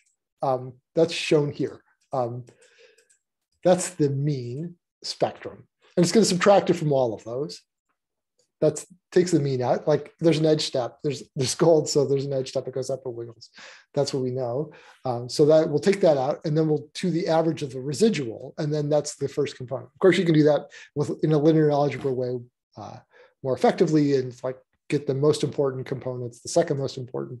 So these are then the pieces of the spectra that vary the most. Those aren't actually gold spectra. They have nothing to do with the X-ray absorption. Well, they don't indicate any uh, local structure about the X or chemical state of the X-ray from of the X-ray absorption properties of gold, but they are about the data set They show the biggest changes in the data set. So we can use those. And then the question is, how many of these components are above the noise level or, or are real components? I'll, I'll get rid of these. And you can see that by the time we get to component four and five and six, we're really at the noise level.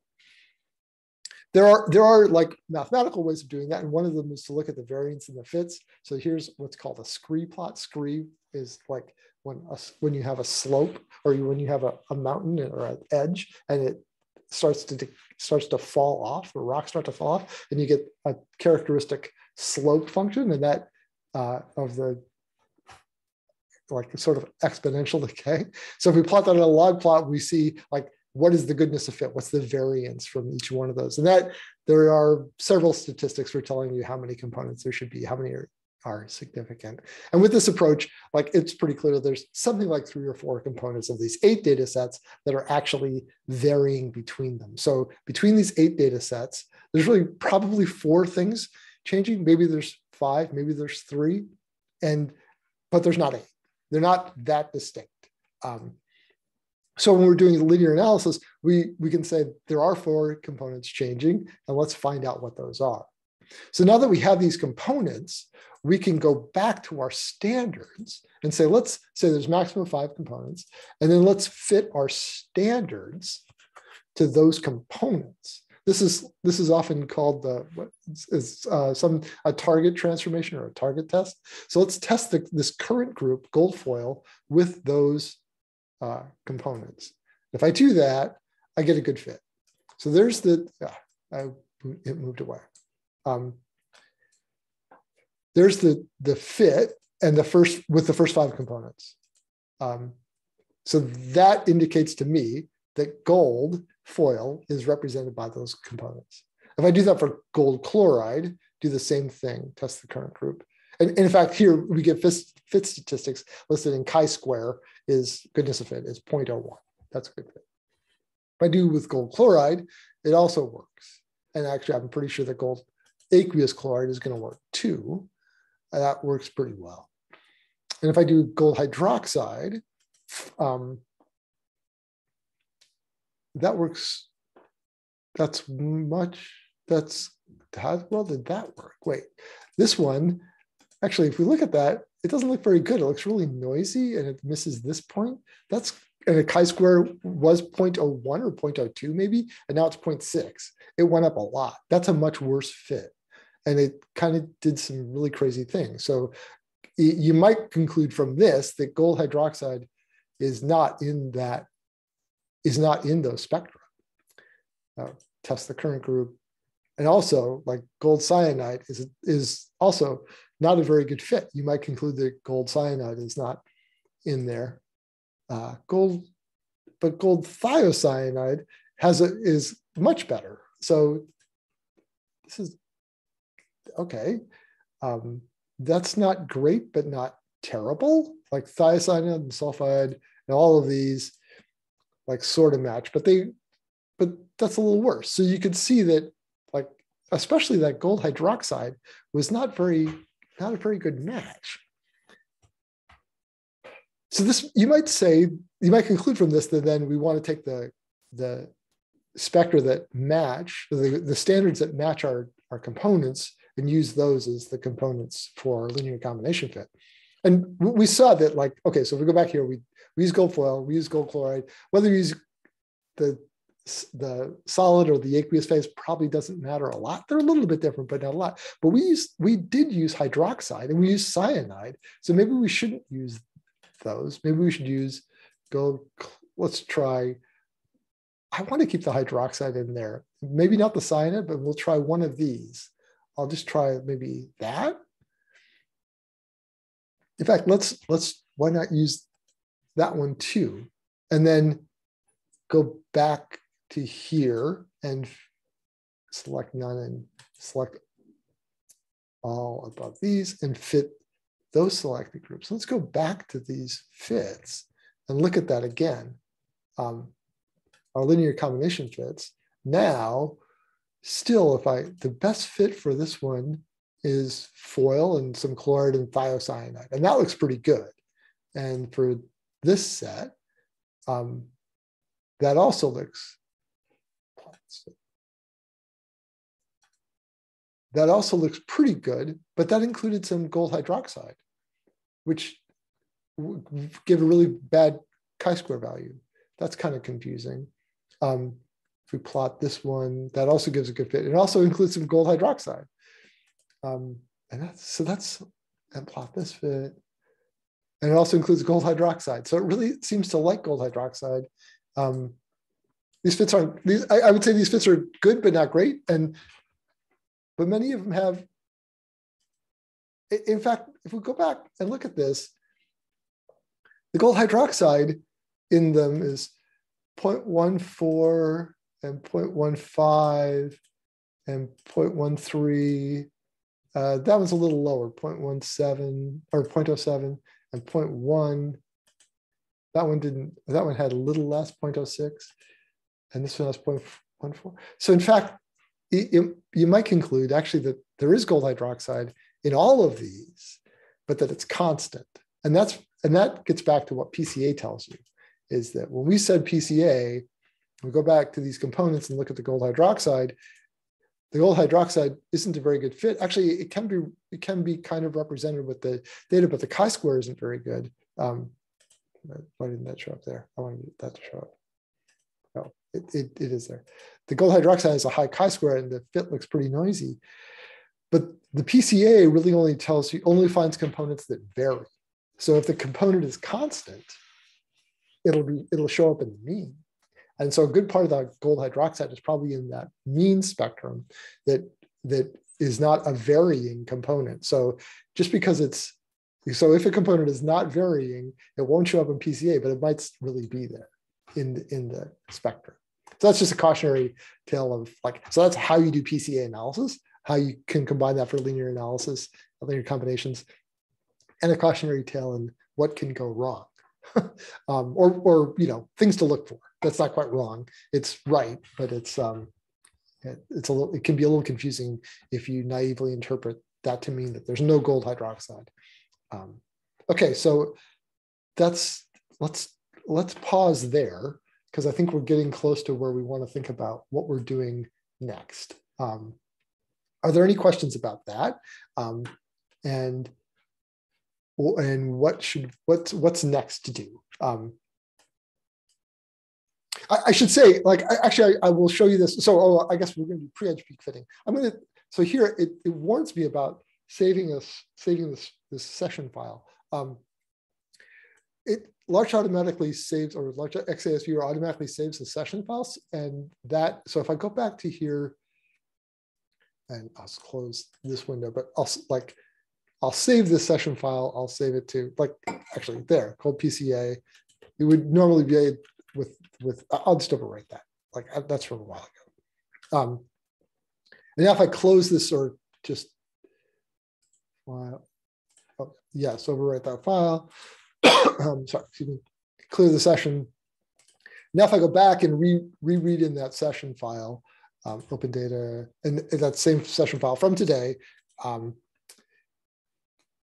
import everything, and it will remember, it will have remembered those, uh, the, the linear combinations and the sets we did. So uh, it was, in fact, if I show say show fit results, it will have those linear combination fit results in them. Those are buried in the data sets and they'll stay in the file. So you can mail that session file and it will include all of the results of the of the analysis. And I'll show that for the peak fitting too, which I'll do next if there's no questions right now. Um, so I'll, again, like select all and remove the selected points.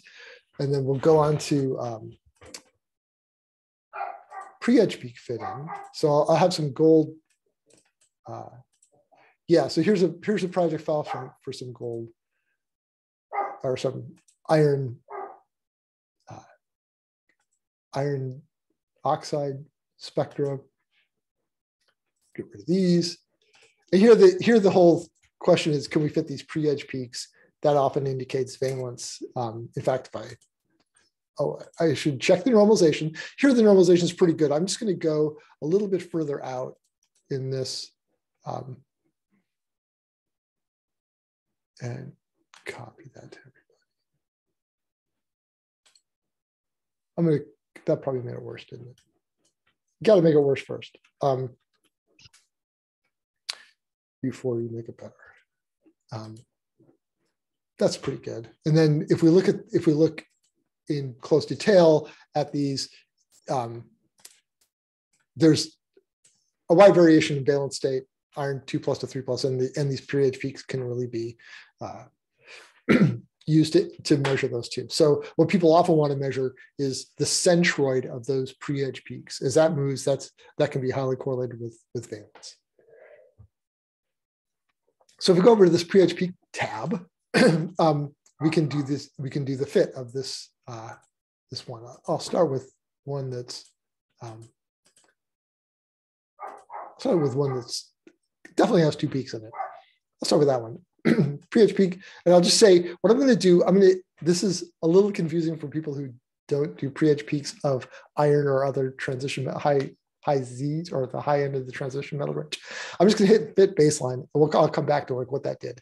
The first thing you want to do is fit a line plus the Lorentzian. So it actually fit we're going to fit the data, the spectra between two energy ranges. I'm going to just make those nice round numbers of, uh, it, it, picked values based on E0. So I'm just going to like pick nice round numbers and of there. And then we told it to fit a baseline, a line plus a Lorentzian, ignoring this, this range here. So that's indicated by these black dots.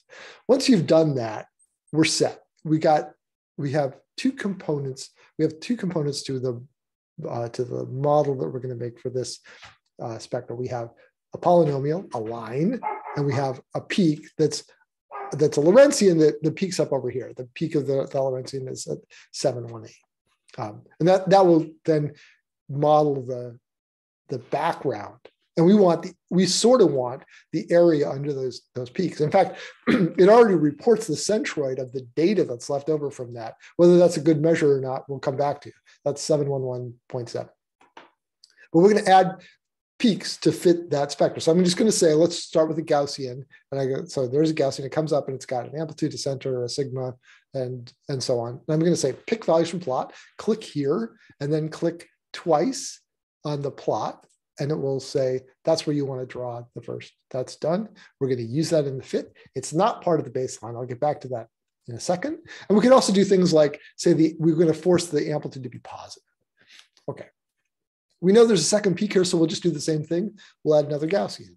Uh, and then Gaussian 2, again, we'll say pick from the plot, and we'll go click on the plot in two places, and they drew that. Okay, so now if I say plot the current model, uh, we get here, it's not great, but it's, it's a good start. If we do fit the current model or fit the current group, then we're going to fit this group to that spectrum. And that looks pretty good. Um, here, that, that's a decent looking fit. It may not be perfect. Um, we're going to make it perfect. Um, so here's the, the label and then the all the, all of the pieces, the like the Gauss, the height of the the height, the sigma of the first of the second Gaussian of the first Gaussian, all those parameters, all the standard errors. There's 11 variables. Here's chi-square, and we can plot this fit again. Again, again, like it brings up a results page that has that will have all of our data sets and all the fits we do to it. Um, and I can do plot with residual here. And you can see, once you can, you might be able to see, you can see that there's actually quite a bit of like structure in that residual. So it's not a very, it's actually not a very good fit. There's a big thing out here uh, at, at the high energy range, like we need another peak. And then, all, but also these peaks aren't fit very well. You can also say plot the baseline subtracted, which will show those peaks after subtracting what we called baseline. And baseline here was just, we just defined it as, is this part of the baseline? So we had that, that one Lorentzian and that one line as, as the baseline. And the other two were not baseline. So that's part of the peaks we're going to find the centroid of. Whether that's interesting to you probably depends on whether you're doing iron pre-edge peaks. But this works, this pre-edge, this peak fitting works for all the other elements too, sulfur and so on. So, but let's go back because like now I want to work on changing that. So I might want to add a third peak. I could add another peak. Um, I'm going to plot the current model. And I'm going to add another peak, um, another Gaussian, and I'm, but I'm going to do it further up, like maybe here. It's not too tight. I'm going to make sure that that's positive. And then I'm going to do a thing like just, just to show you that this can be done. The first Gaussian, we had 11.6. So I'm just going to say that it has a range that it can go from 7, 1, say 7105, and then to like 7113. Just so that it, can't go out of those ranges. I think Gaussian 2 will say a lower limit of 7112 or so, so that we know which order they are, so that when we're doing these fits, they can't like switch which one is which, which it, it doesn't happen all the time. It doesn't happen very often, but when it does, it's kind of confusing. Um, so I'll do the same thing. That this peak can't go below 7.4. I could say it can't go above something, but it's probably fine. So if I plot that model, it's got like too big of a peak here, but it, that'll get resolved in the fit. So if I do this now, fit the current group, um, it's thinking about it. And it might, this might be a not very good fit if it's thinking about it that hard.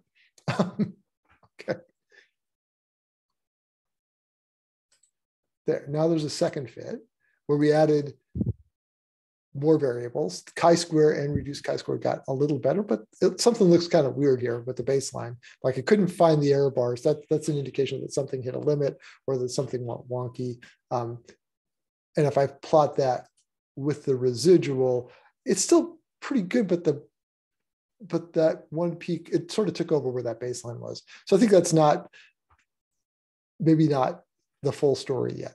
So let me go back to this um, and let me just delete these three Gaussians and go back to the go back to the beginning of where this was going wrong and use a different peak shape. Um, we know that especially for BMOS at the APS, the, the energy resolution is actually pretty good. And using Voigt functions can be a noticeable improvement in in um, in uh, fit quality. So I'm going to use a Voigt function. That's a that's a convolution of a of a Lorentzian and a Gaussian, and I'm just going to do the same thing of using picking two of those,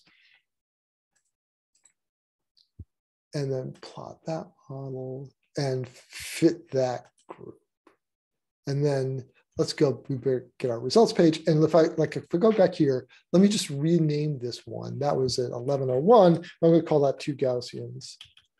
Um, update that label. And then this one was two Voigt, just to just so we have some so we can tell what they were. And if we compare those two, the chi-squares actually aren't very different. Those look both look pretty good. Um, and there's still like something not quite right. Like we should include another peak, and maybe we should go further up in the energy range and and uh, and include include better include that next peak up. We we could also like I should say we should also say I could say update the model with these values so that we get those values pushed back in. And now if I say plot the current model, it looks pretty good. And like there's that peak and we went further up. Um, so that's interesting that we can do that. Um, and clearly we don't want to fit all the way up there. We're gonna we're gonna we're gonna have a big misfit if we try to fit that. So I would also say like this this fit is not bad, and it might be that that's a good measure of of what we're actually trying to do. So I might say let's take all those fits and fit all of them. So we'll say fit the selected spec the selected groups, and now that's fit all of them and we can look at the residuals and the fits for all of those and see you can see that some of them are actually pretty good especially when that second peak is pretty high so that it's more oxidized um, and there's clearly some misfits and we can we can do you know we can go on from here and improve this but i think that gives a flavor of what what um, you can do with pre-edge peak fitting uh, as a first start then also you can like save these, uh, save you know the parameters and the statistics for all the groups into a spreadsheet. Um, and you can save the model and bring that in later. So you can load this mo- load this model for fitting or or save the models um, uh, here under PHP. You can load load a model after you've saved it and so on. So you can reproduce this model. Um, and then the the EXAFS fitting with with FEFFIT will be look pretty similar uh, in character to this. So maybe that's a good time to, to pause for questions on all the XANES analysis we've done. Um, are there any questions? Are there any thoughts? Uh, let me go, maybe I can go look at the chat. Yeah, I think um, there's something from Chris. Chris, why don't you just uh, unmute yourself and ask if you if you don't mind? Yeah, sure thing. Can you hear me? Yeah. Yep. Yeah, perfect. So uh, kind of two questions. The first was, is there a limit to the number of fit components you can add here in Larch? No. I mean, I mean, maybe that's probably a bad idea to say, sure, you go ahead and add 500 components. But no, there's not a limit. Okay, no, I'm just thinking about using this for potentially fitting extra emission where you need. Yeah, yeah, yeah, yeah.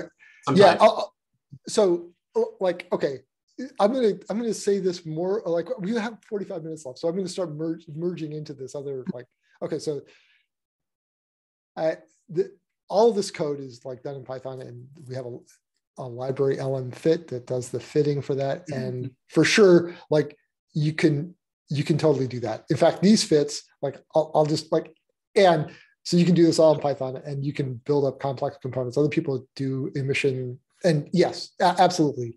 If you're whether whether we want to include that in a GUI or in this GUI is a good question, but for sure that that can be done. And and we if if if you're interested in that, we could talk about like how we can better manage. So this is like called pre-edge peak fitting because mm-hmm. of this thing with does with the baseline. But if we want to, like other people have asked about this too, should we add something that's more specific to emission fitting? Yeah, no, definitely something we can talk about offline. yeah, But I think that this yeah. is this is a really powerful platform for doing that kind of thing. So this is exciting. And then the second question I had is just can user-defined functions be used as fit components, or are we limited to what is native in Larch?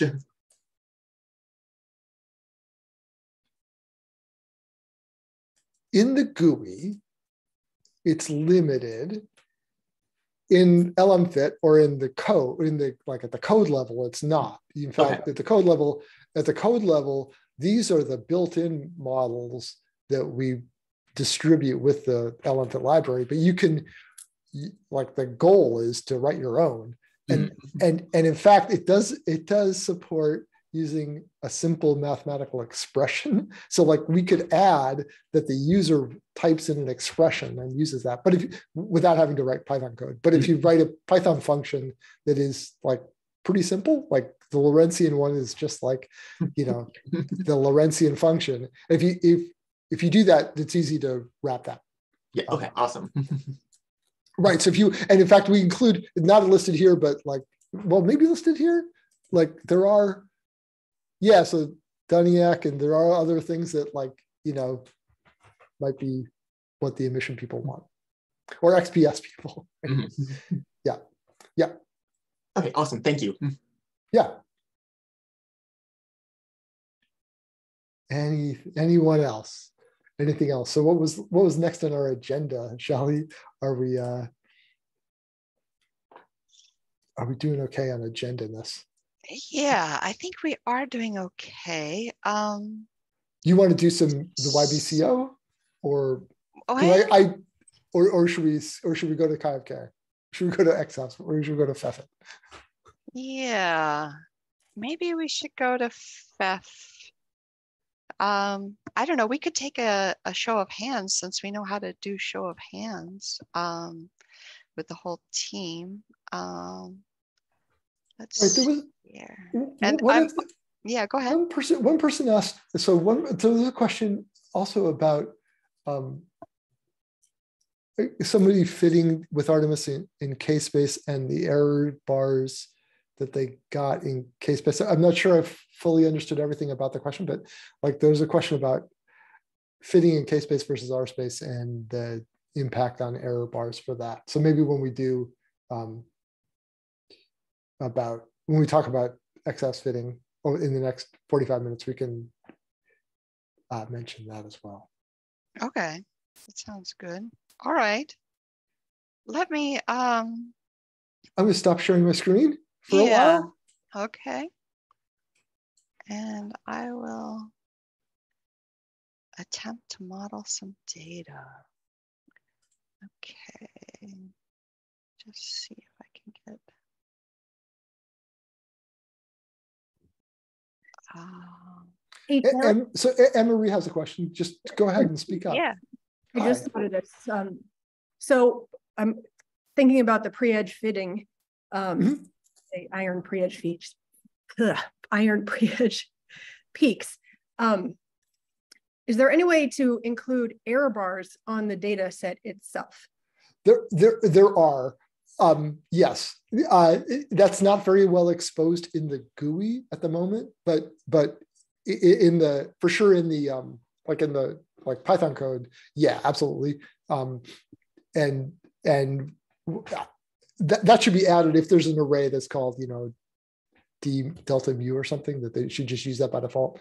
Um, Okay, we do that for we do, we do that for XAFS actually. Um, Uh-huh. we don't do but pre-edge peak fitting. We should do, a better job. So so those error bars, right? So then there's this whole thing about how do you how do you get error bars when you don't have good uncertainties in the data? And there's this whole trick of like increasing chi-square not by one but by chi-square reduced. Like it's a common. But if the error bars are changing, like if you like count rates are changing, and so your error bars are changing with energy, it can make an impact. okay. Yeah. Thanks. That's a good thing to add. okay. So I think I'm sharing my screen. Does everybody see the, uh, the Larch GUI? Yep. Okay, great. All right, so in this next part, I will just pull in some of my favorite platinum data and uh, give an attempt to model it. So um, I'm gonna go up here and open a data file and it brings me to some platinum foil. I'm gonna go ahead and open that up. Uh, it's already been processed into XMU data. and didn't quite uh, recognize that as XFS type, so we wanna make sure we get that part right.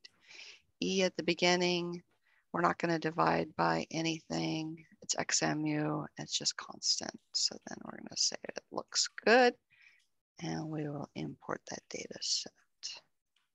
We can plot that data set in a normalized mu of E. And where did the plot go? The plot is over on this other screen. Right here. Okay. So it looks um, pretty good, uh, normalized data. Um, I happen to know these data pretty well. And one of the things that I, um, that I can pick up in uh, is that this uh, the pre-edge is a little bit uh, squashed. So you can see that it comes up above zero here and it uh, pulls down. We can plot the current group with the post edge and the pre-edge line, and you can kind of see that it doesn't follow really well. And so we can take this pre-edge line and just back it up a little bit. So it's, it's already starting to use the part that's curving up is what I'm noticing here.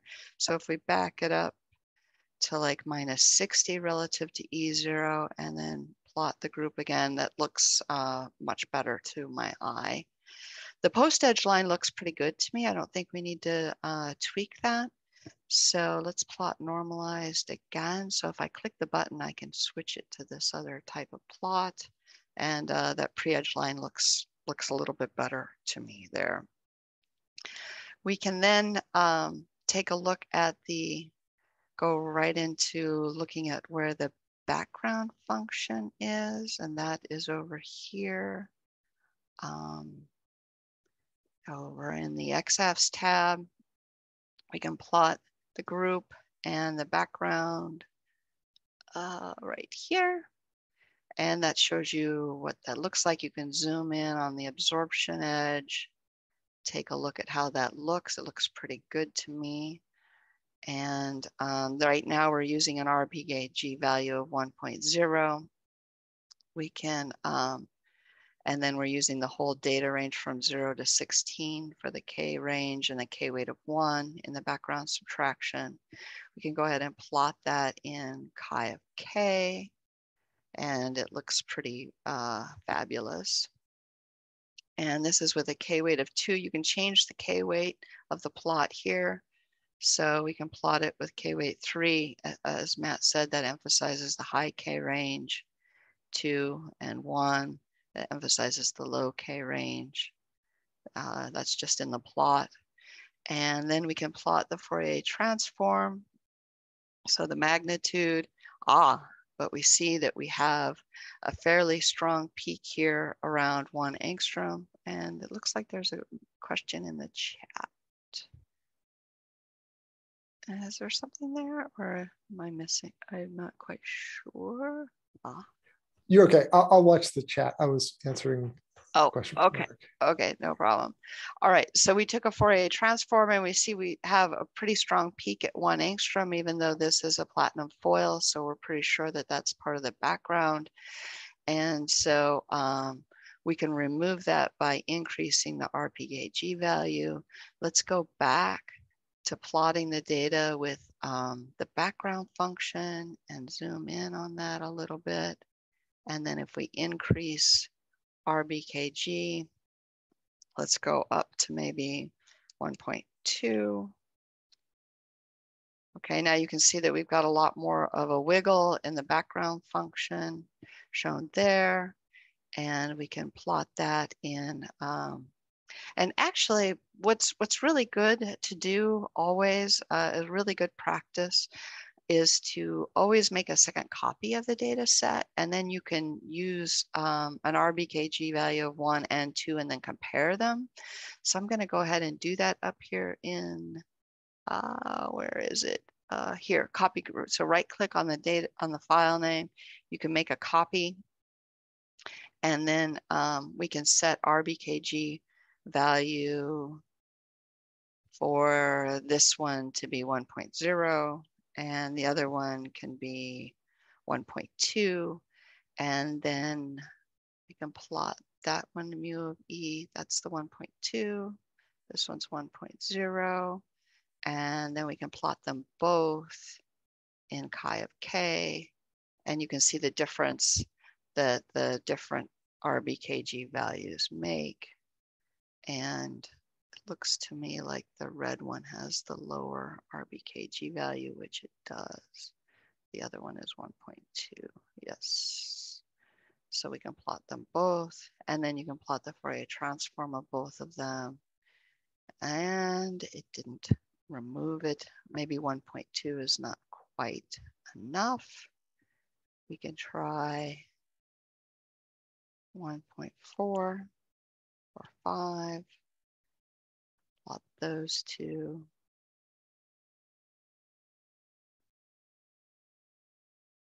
Starting to get uh, removed. That's interesting that it's pushing it up, looks like to my eye.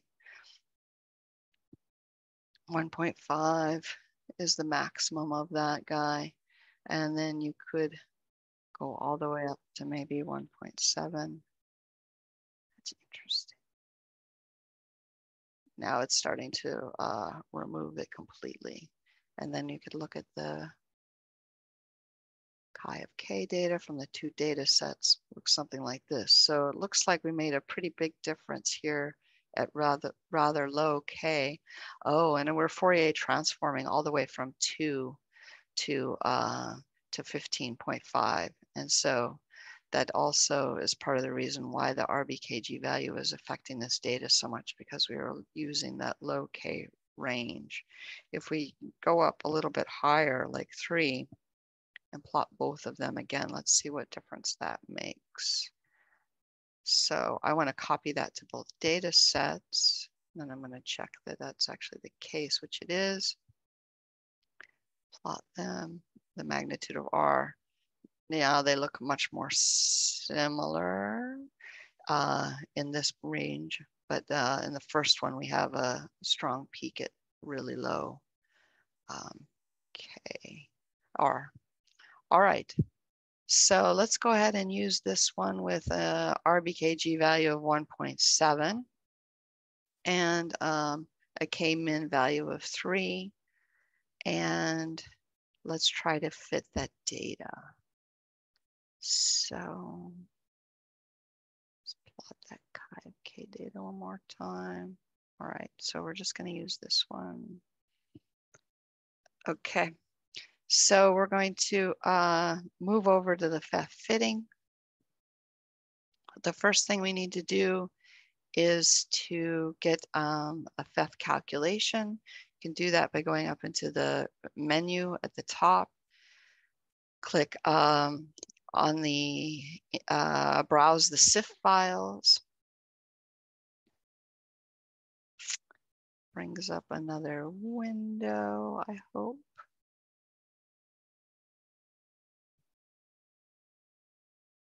Where did it go? Is it behind? It's here somewhere.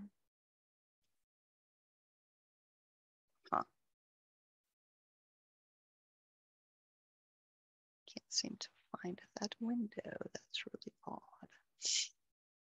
Um,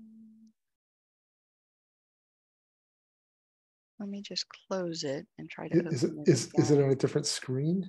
It might be, but I can't find it on the other screen either.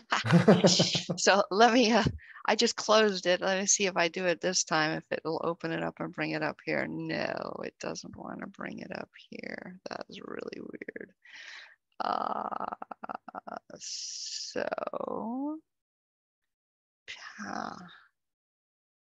oh, hold on.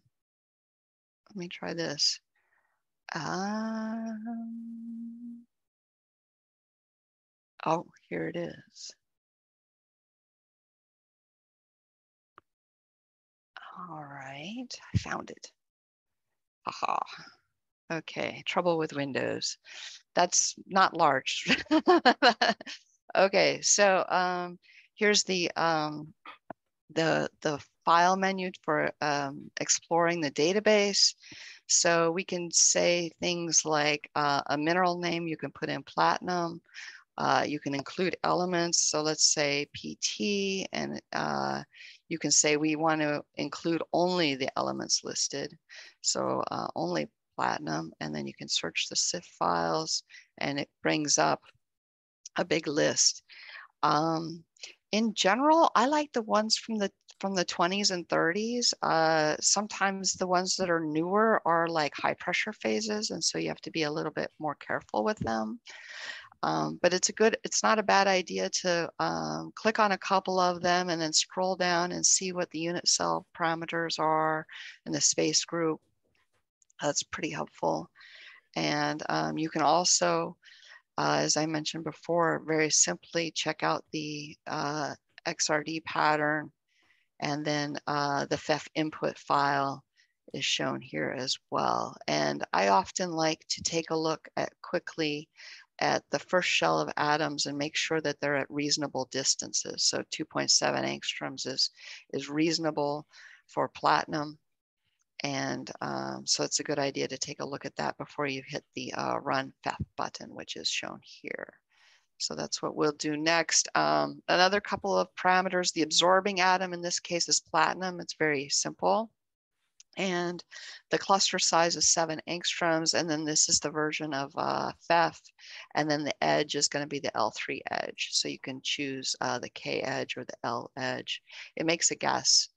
Um, and it's that's correct for this one. It's L3 edge. You hit run FEFF.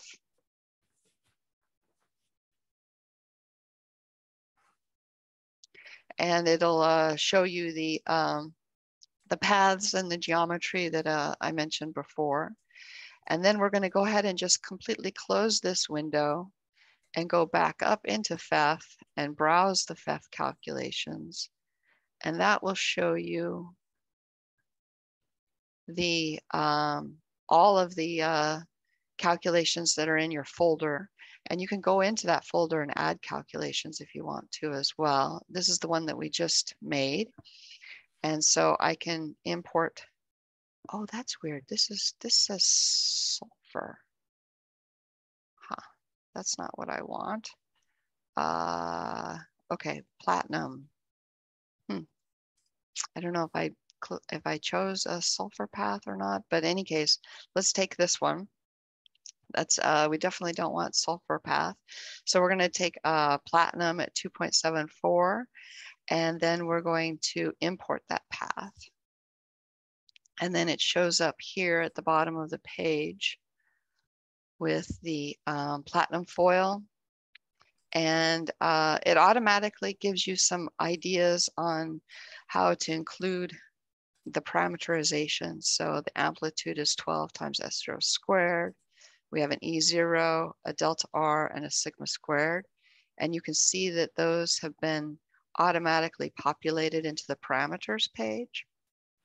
And you can plot the, uh, the current model with the chi of k uh, data, and you can see what it looks like. And so that's the current model uh, shown in, in red, and the data is in blue.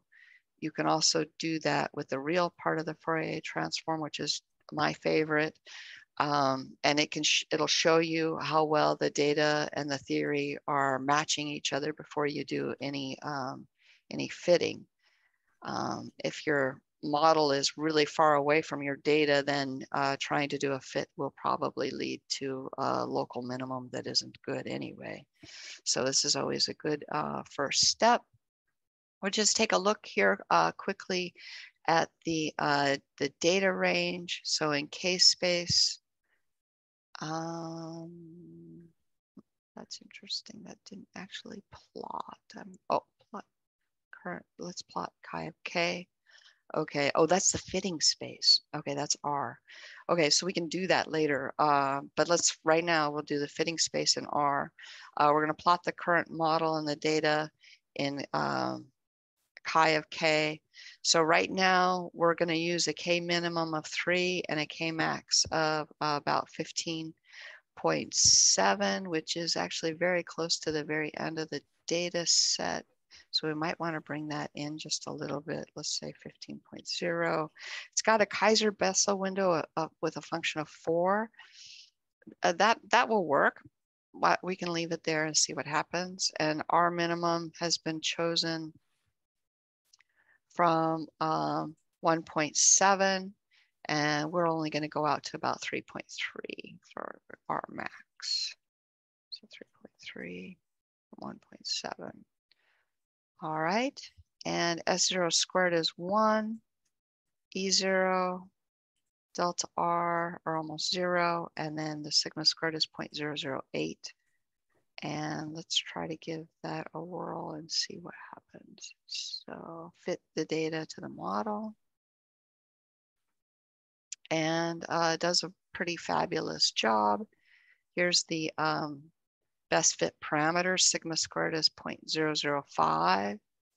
Uh, sigma squared is 0.96. E0 is about 10 EV. So that's actually quite uh, a big value for E0 delta R is 0.02 angstroms, which is pretty small. So let's say that we decided that we wanted to um, make E0 a little bit smaller than uh, 10 angstroms.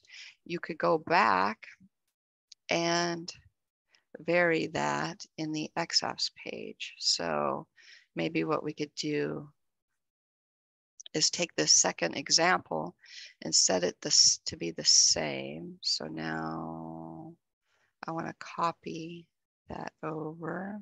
Uh, it doesn't want to copy 1.7. We're going to put both of these now to make sure that they look about the same. 3 to 15.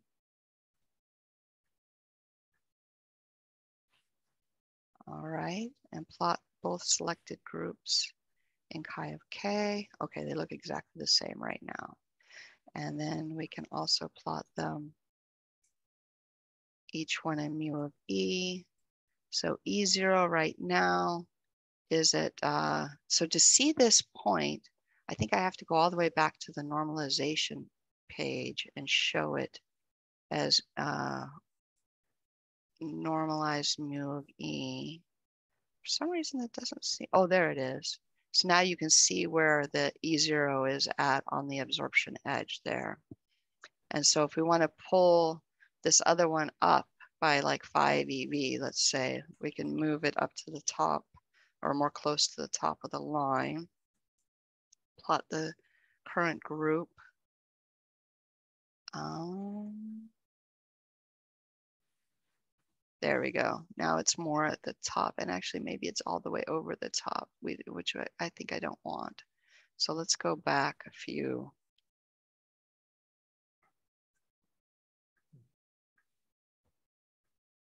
Okay, now it's at the top of the line.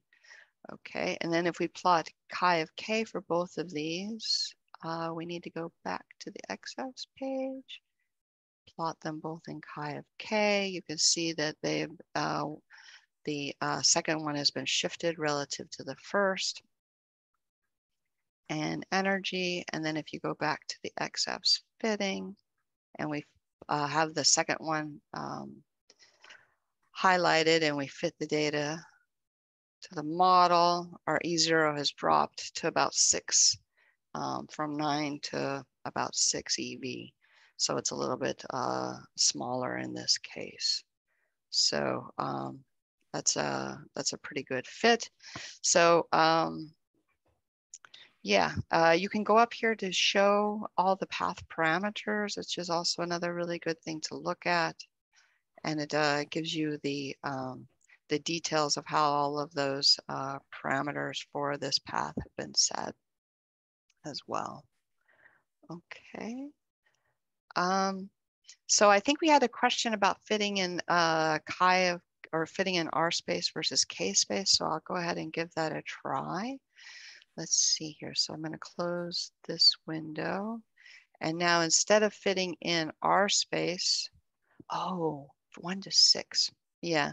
So, uh, uh, so when you're when you want to carefully compare the um, the XF's uh, parameters, it's important to use the fitting range that's actually included in the data. So, by by using a fitting range that goes all the way out to six, I've included this all of this misfit in those parameters.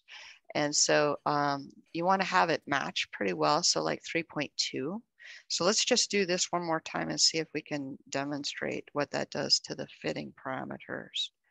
You do 3.2 instead of six and you fit, uh, you run the fit parameters.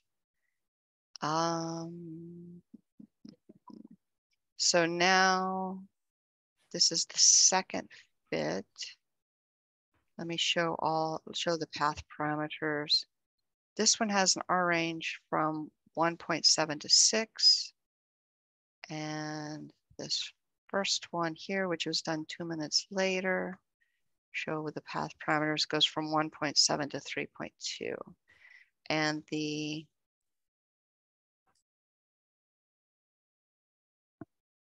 the uncertainty here um, in, for example, sigma squared is uh, 1.6 times um, 10 to the minus 4. And in the other one, it's 8.7 times 10 to the minus 4. So we, we reduced the, uh, the uncertainties by like a, a, about a factor of four just by shortening the data range to uh, match the actual model. So we've, we've, we've taken out a whole bunch of misfit um, from the from the data, and that has reduced the uncertainties in those parameters. So it's important to have the data range uh, match the model. All right, so then let's go back to the fit and do one with K-space instead of um, R space. So um, what happened to my window? All right, so instead of K-space, we're going to, oh, that's another thing that I could demonstrate as well. So you have the option for using a K-weight of two, one, two, or one, two, and three in the optimization. Generally speaking, if you use the K-weights of one, two, and three, you'll reduce your uncertainties as well, because then you're optimizing the low and the high and the middle part of the spectrum. Um, but uh, let's just leave that as two right now. And then let's go to uh, K-space. So if we're gonna fit the data in K-space, we should probably look at the current model in K. Um, it looks like that. And which looks pretty reasonable. And then the K range, of course, is gonna be three to uh, uh, three is about here, three to about 15, which is really close to the end. And then we're going to go ahead and hit fit the data to the model. Um, looks pretty darn fabulous as well. And then we can compare those parameters and the um, and the fits. And um, let's see here. If I click on this last one, so sigma squared, for example, is five times 10 to the minus three with an uncertainty of 1.2 times 10 to the minus three. I would say that's pretty similar. Um, not, not exactly similar. We have a, a smaller error in, um, in uh, our second model, right, which is 1.6 times 10 to the minus four compared to this is 1.2 uh, times 10 to the minus 3. So the uncertainty is quite a bit larger when you fit the data in K-space. I, I'm going to go out on a limb and say that's because in K-space, we're including all of these higher frequency signals that haven't been um, that haven't been modeled, just like when we had the data range was all the way from one to six um, instead of just over the part of the spectrum that we're actually modeling. So we've included higher frequency signals here that we aren't modeling, which will increase the uncertainties. So um, let's see. Yeah, yeah Shelly, Shelly, I would say that that's exactly right. And also, if you if you sort of expand that plot uh, that table, you could show the value of chi-square or reduced chi-square for each of those fits where you did those? Because I think they that'll vary a lot too. Oh, yes. Yeah, yeah. The, the chi-squared and the reduced chi-squared is much, much bigger um, in k-space than it is in the, uh, in the, uh, um, it, than it is uh, when you do it in R. Right, and also reducing the the R range to the right one also Yeah. got reduced chi-square very close to one or pretty close to one. That's actually true. That's pretty amazing, actually. Yeah. All right. Okay, any other questions there? Any other variations you want to try on this fit and see what differences it makes? Or we're actually pretty clo- close to 1140. We're supposed to click. Oh, could we do a, a fitting in the wavelet space? So of course you can. Um, we could do that. Uh, change the button to wavelet. Uh, Matt, is there anything else I should check on here when I do that? Give it give it a try. Give it a try and see what happens. Um, let's see, is there a way to show the wavelet? Do I need to go back to XAFS to actually show the wavelet? I think maybe I do. Yeah, I think that's right.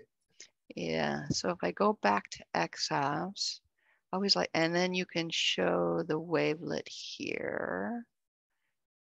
And it gives you a grayscale map.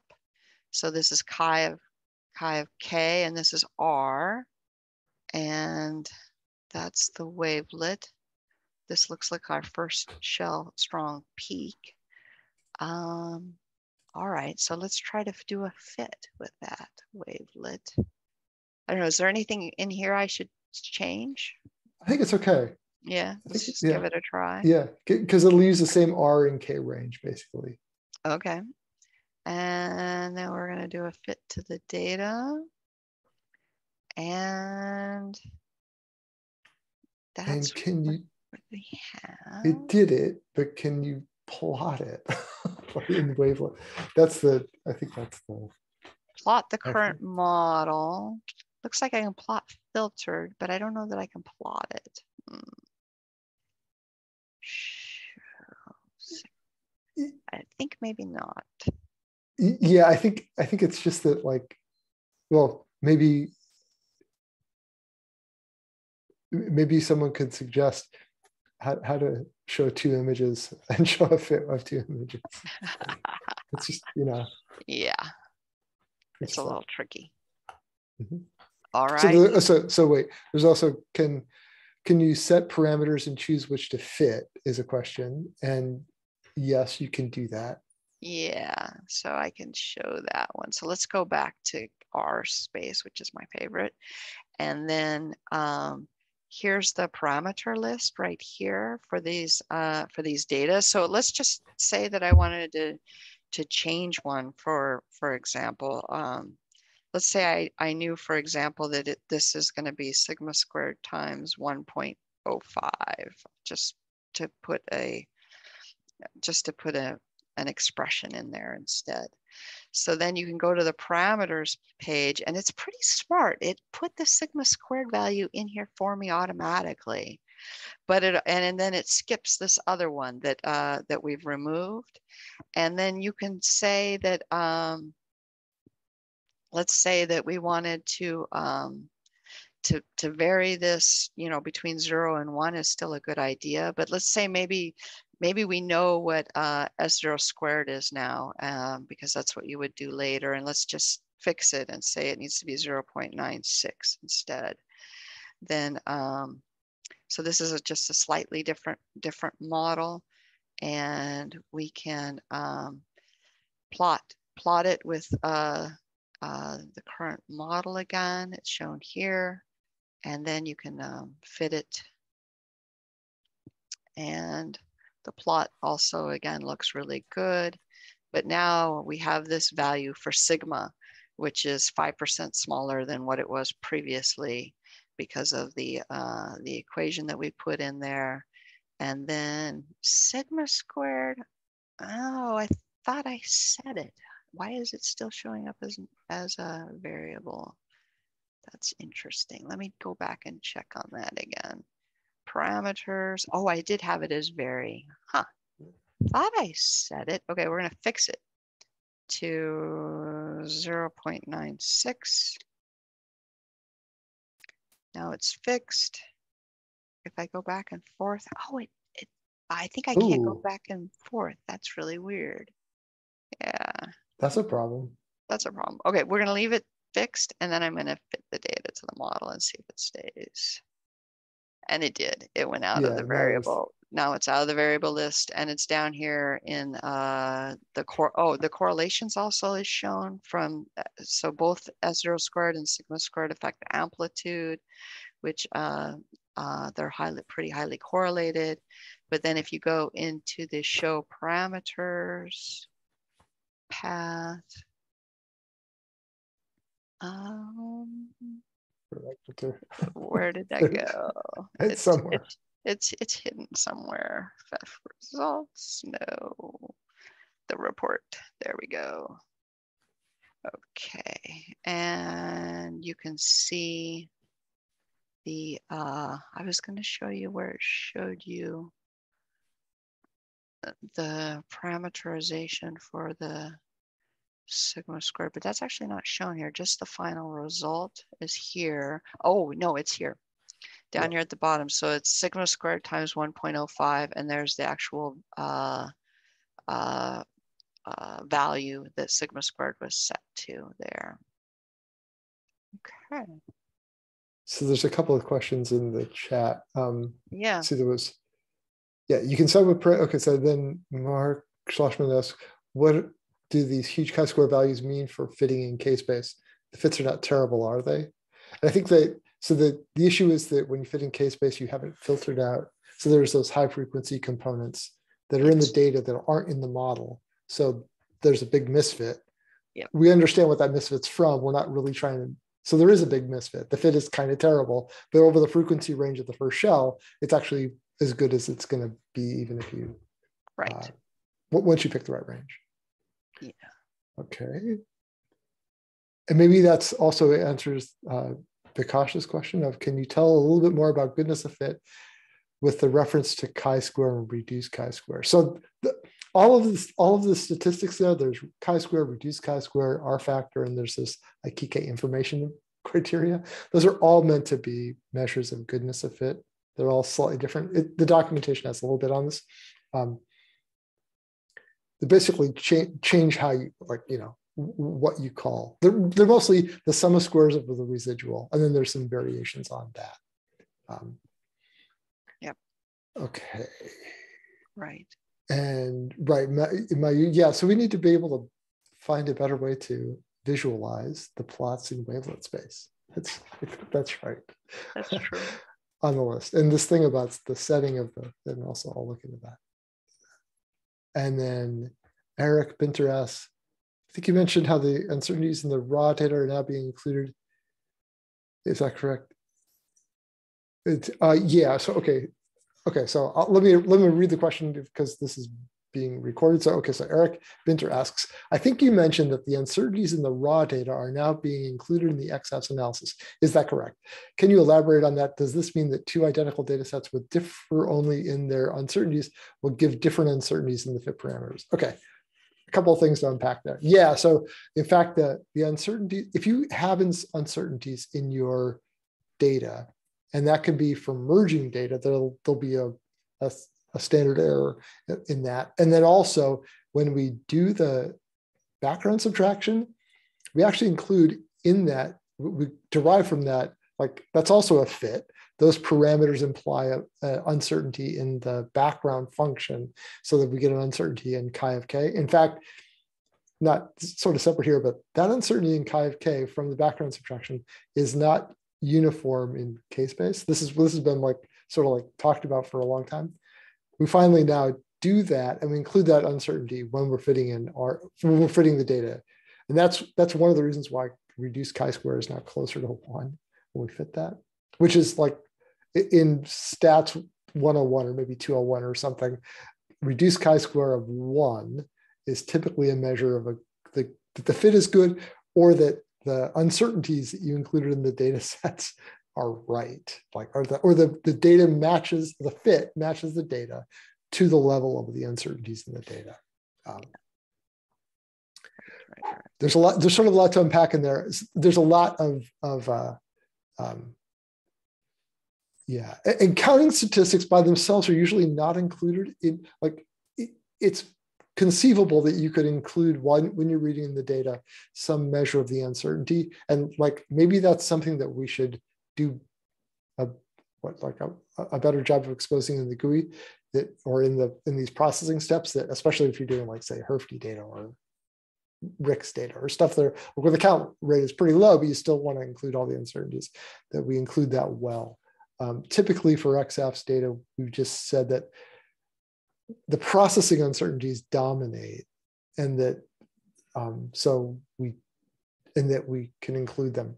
I'll also say that in all of the in the statistics for the or the uncertainties for the fitted parameters, those all increase chi-square by reduced chi-square, not by one. That's so that if you if you make a a constant error in the uncertainty in the data, it doesn't have a huge effect on the on the parameters uncertainty. That mostly scales out, but not completely. And if you do something like fitting in k space instead of r space, then where that un, where that misfit is is different too, and it's and it's huge, so that will have an impact on the actual uncertainties in the parameters. There's a lot. To, like we could probably go on for hours in just in just like that. Like and and I think that, that these are all great questions because that's important to like when you're really getting and reporting the numbers, you want to report the the, the best of values and the uncertainties, and you want to like have these things like sort of worked out well. Um, yeah. And it's still sort of a topic of like work. So Right. We're happy to go talk about that more. Um, well, I think we're about out of time, Matt. And, and you, Yeah. promised you promised that you would show a little bit Oh. about scripting. l- l- yeah, let me. Okay, so let me let me share my screen and just I'm just gonna go. Uh, this yes. Okay, this I'll be fast. Um, screen one. Let me go back to. Okay, so I still have up the the sets I was doing. And I'm just going to go, oh, I'll just show you this. So all of the work that we did in the GUI, uh, I can say show Larch buffer. This is a little weird and it's probably going to change over the next year because I have copious free time with no users. Um, all of the steps that we did uh, for all of everything I did, I was like reading in the other data sets and reading in the gold data, the pre-edge peaks, so the linear combination fits. That's all like actually what the GUI does is emit Python code that it then runs. And you can like save all of this. So all of the things we did are actually available to do in Python. It's a little verbose because like it's a it's a GUI, so it'll do things multiple times and it'll do them without like trying to do them cleverly or in for loops. But you can take all of these and convert it into Python code. And in fact, like these are most of the stuff that I've we've been able to make be separate libraries are separate libraries. So you can go and install those and you can fit peaks with Voigt models and Lorentzian models to other data sets. It doesn't have to be XAFS. It could be, you know, emission, X-ray emission or XPS or, you know, data or diffraction data. Um, so all of these, all of these commands are like really just Python functions that work on groups of data sets. Uh, it's pretty easy to do a simple script. So that means that it's it would be easy to take, like, say, at your beamline, run the background subtraction auto back in a Fourier transform. And as the data comes in, show the Fourier transform.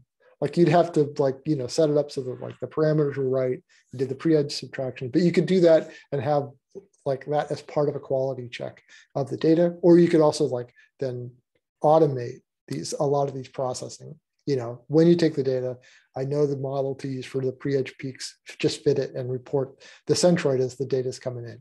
Those are all doable. And, you know, definitely applying these to doing, to use the GUI for doing, you know, and analyzing the first 10 spectra and then ship that off to do the next thousand. So all of that is available. Um, and if you have questions about like how to do that in practice, like let me know. There, there's also like we're we're working toward even making this better, like so that this so that this interface here that shows a like some a command line that you can type at can be um, turned into a Jupyter uh, interface to this, or or IPython interface to that. So if you have any questions about that or anything else in this, you know, let us know. Or like there's a mailing list, the IFEFFIT mailing list is valid for this. All of this code and development is on GitHub. There are GitHub discussions or issues if you want to raise them. We're doing that all the time. Um, and everything, again, everything that happened, we did today is actually in, encoded in this and you can save it um, and pass it on to someone else. Um, so you could, if you want to turn your, your students or your, or yourself onto that um, to make better or other analyses, that's completely possible. Okay, so I'll stop sharing my screen. I think we're like really close to time on that. Um, so uh, one last question, Matt, before we're going to let you go. So Young Choi, do you want to yeah. um, uh, hey. do you want to unmute yourself and just ask?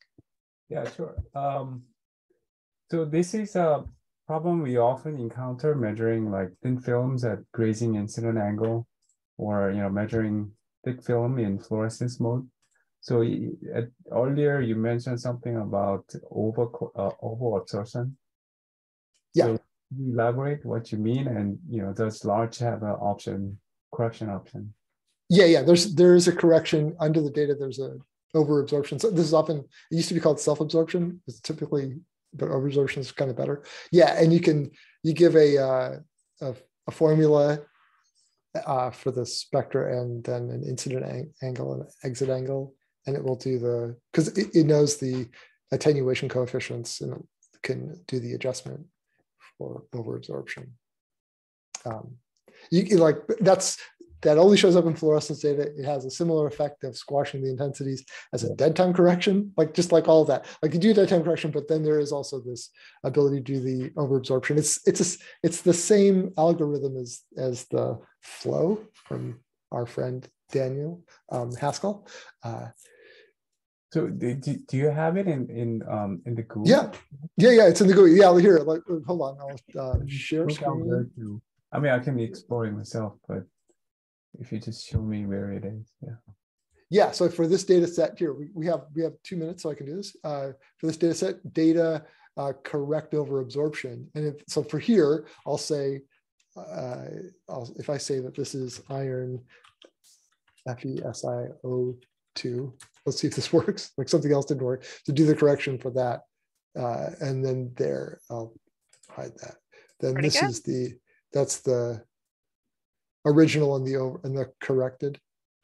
Oh. And that's the right, then that's sort of the right effect, right? Like you could say iron 0.003, and then we do the correction, it'll be tiny, but so it, you can scale the stoichiometry and there's incident exit angle whether whether it works right for you know let me know if it's wrong for for, for grazing incidents or grazing eggs oh. yeah yeah and then, yeah and then you save that as a new group and then you have that data set to work with.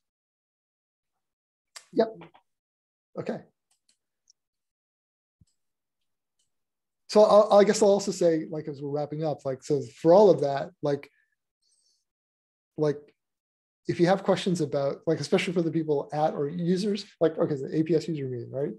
Users or people and scientists at the aps like we like this is the goal here is really just like to make this do what you need it to do for your x-ray absorption plus plus spectroscopy. So if there's anything that you want to see or want to talk about like just let us know. We're happy to to make these like available for that. Okay. Thank you, everyone. And uh, thank you for, you know, your really great questions and um, for helping us uh, share with you uh, Larch. And I hope that uh, we all start using it all the time. So thank you. Yeah, yeah, great. No, thanks. Yeah, this was really great. Lots of lots of good questions. Okay. Okay, are we? I'm going to stop the recording.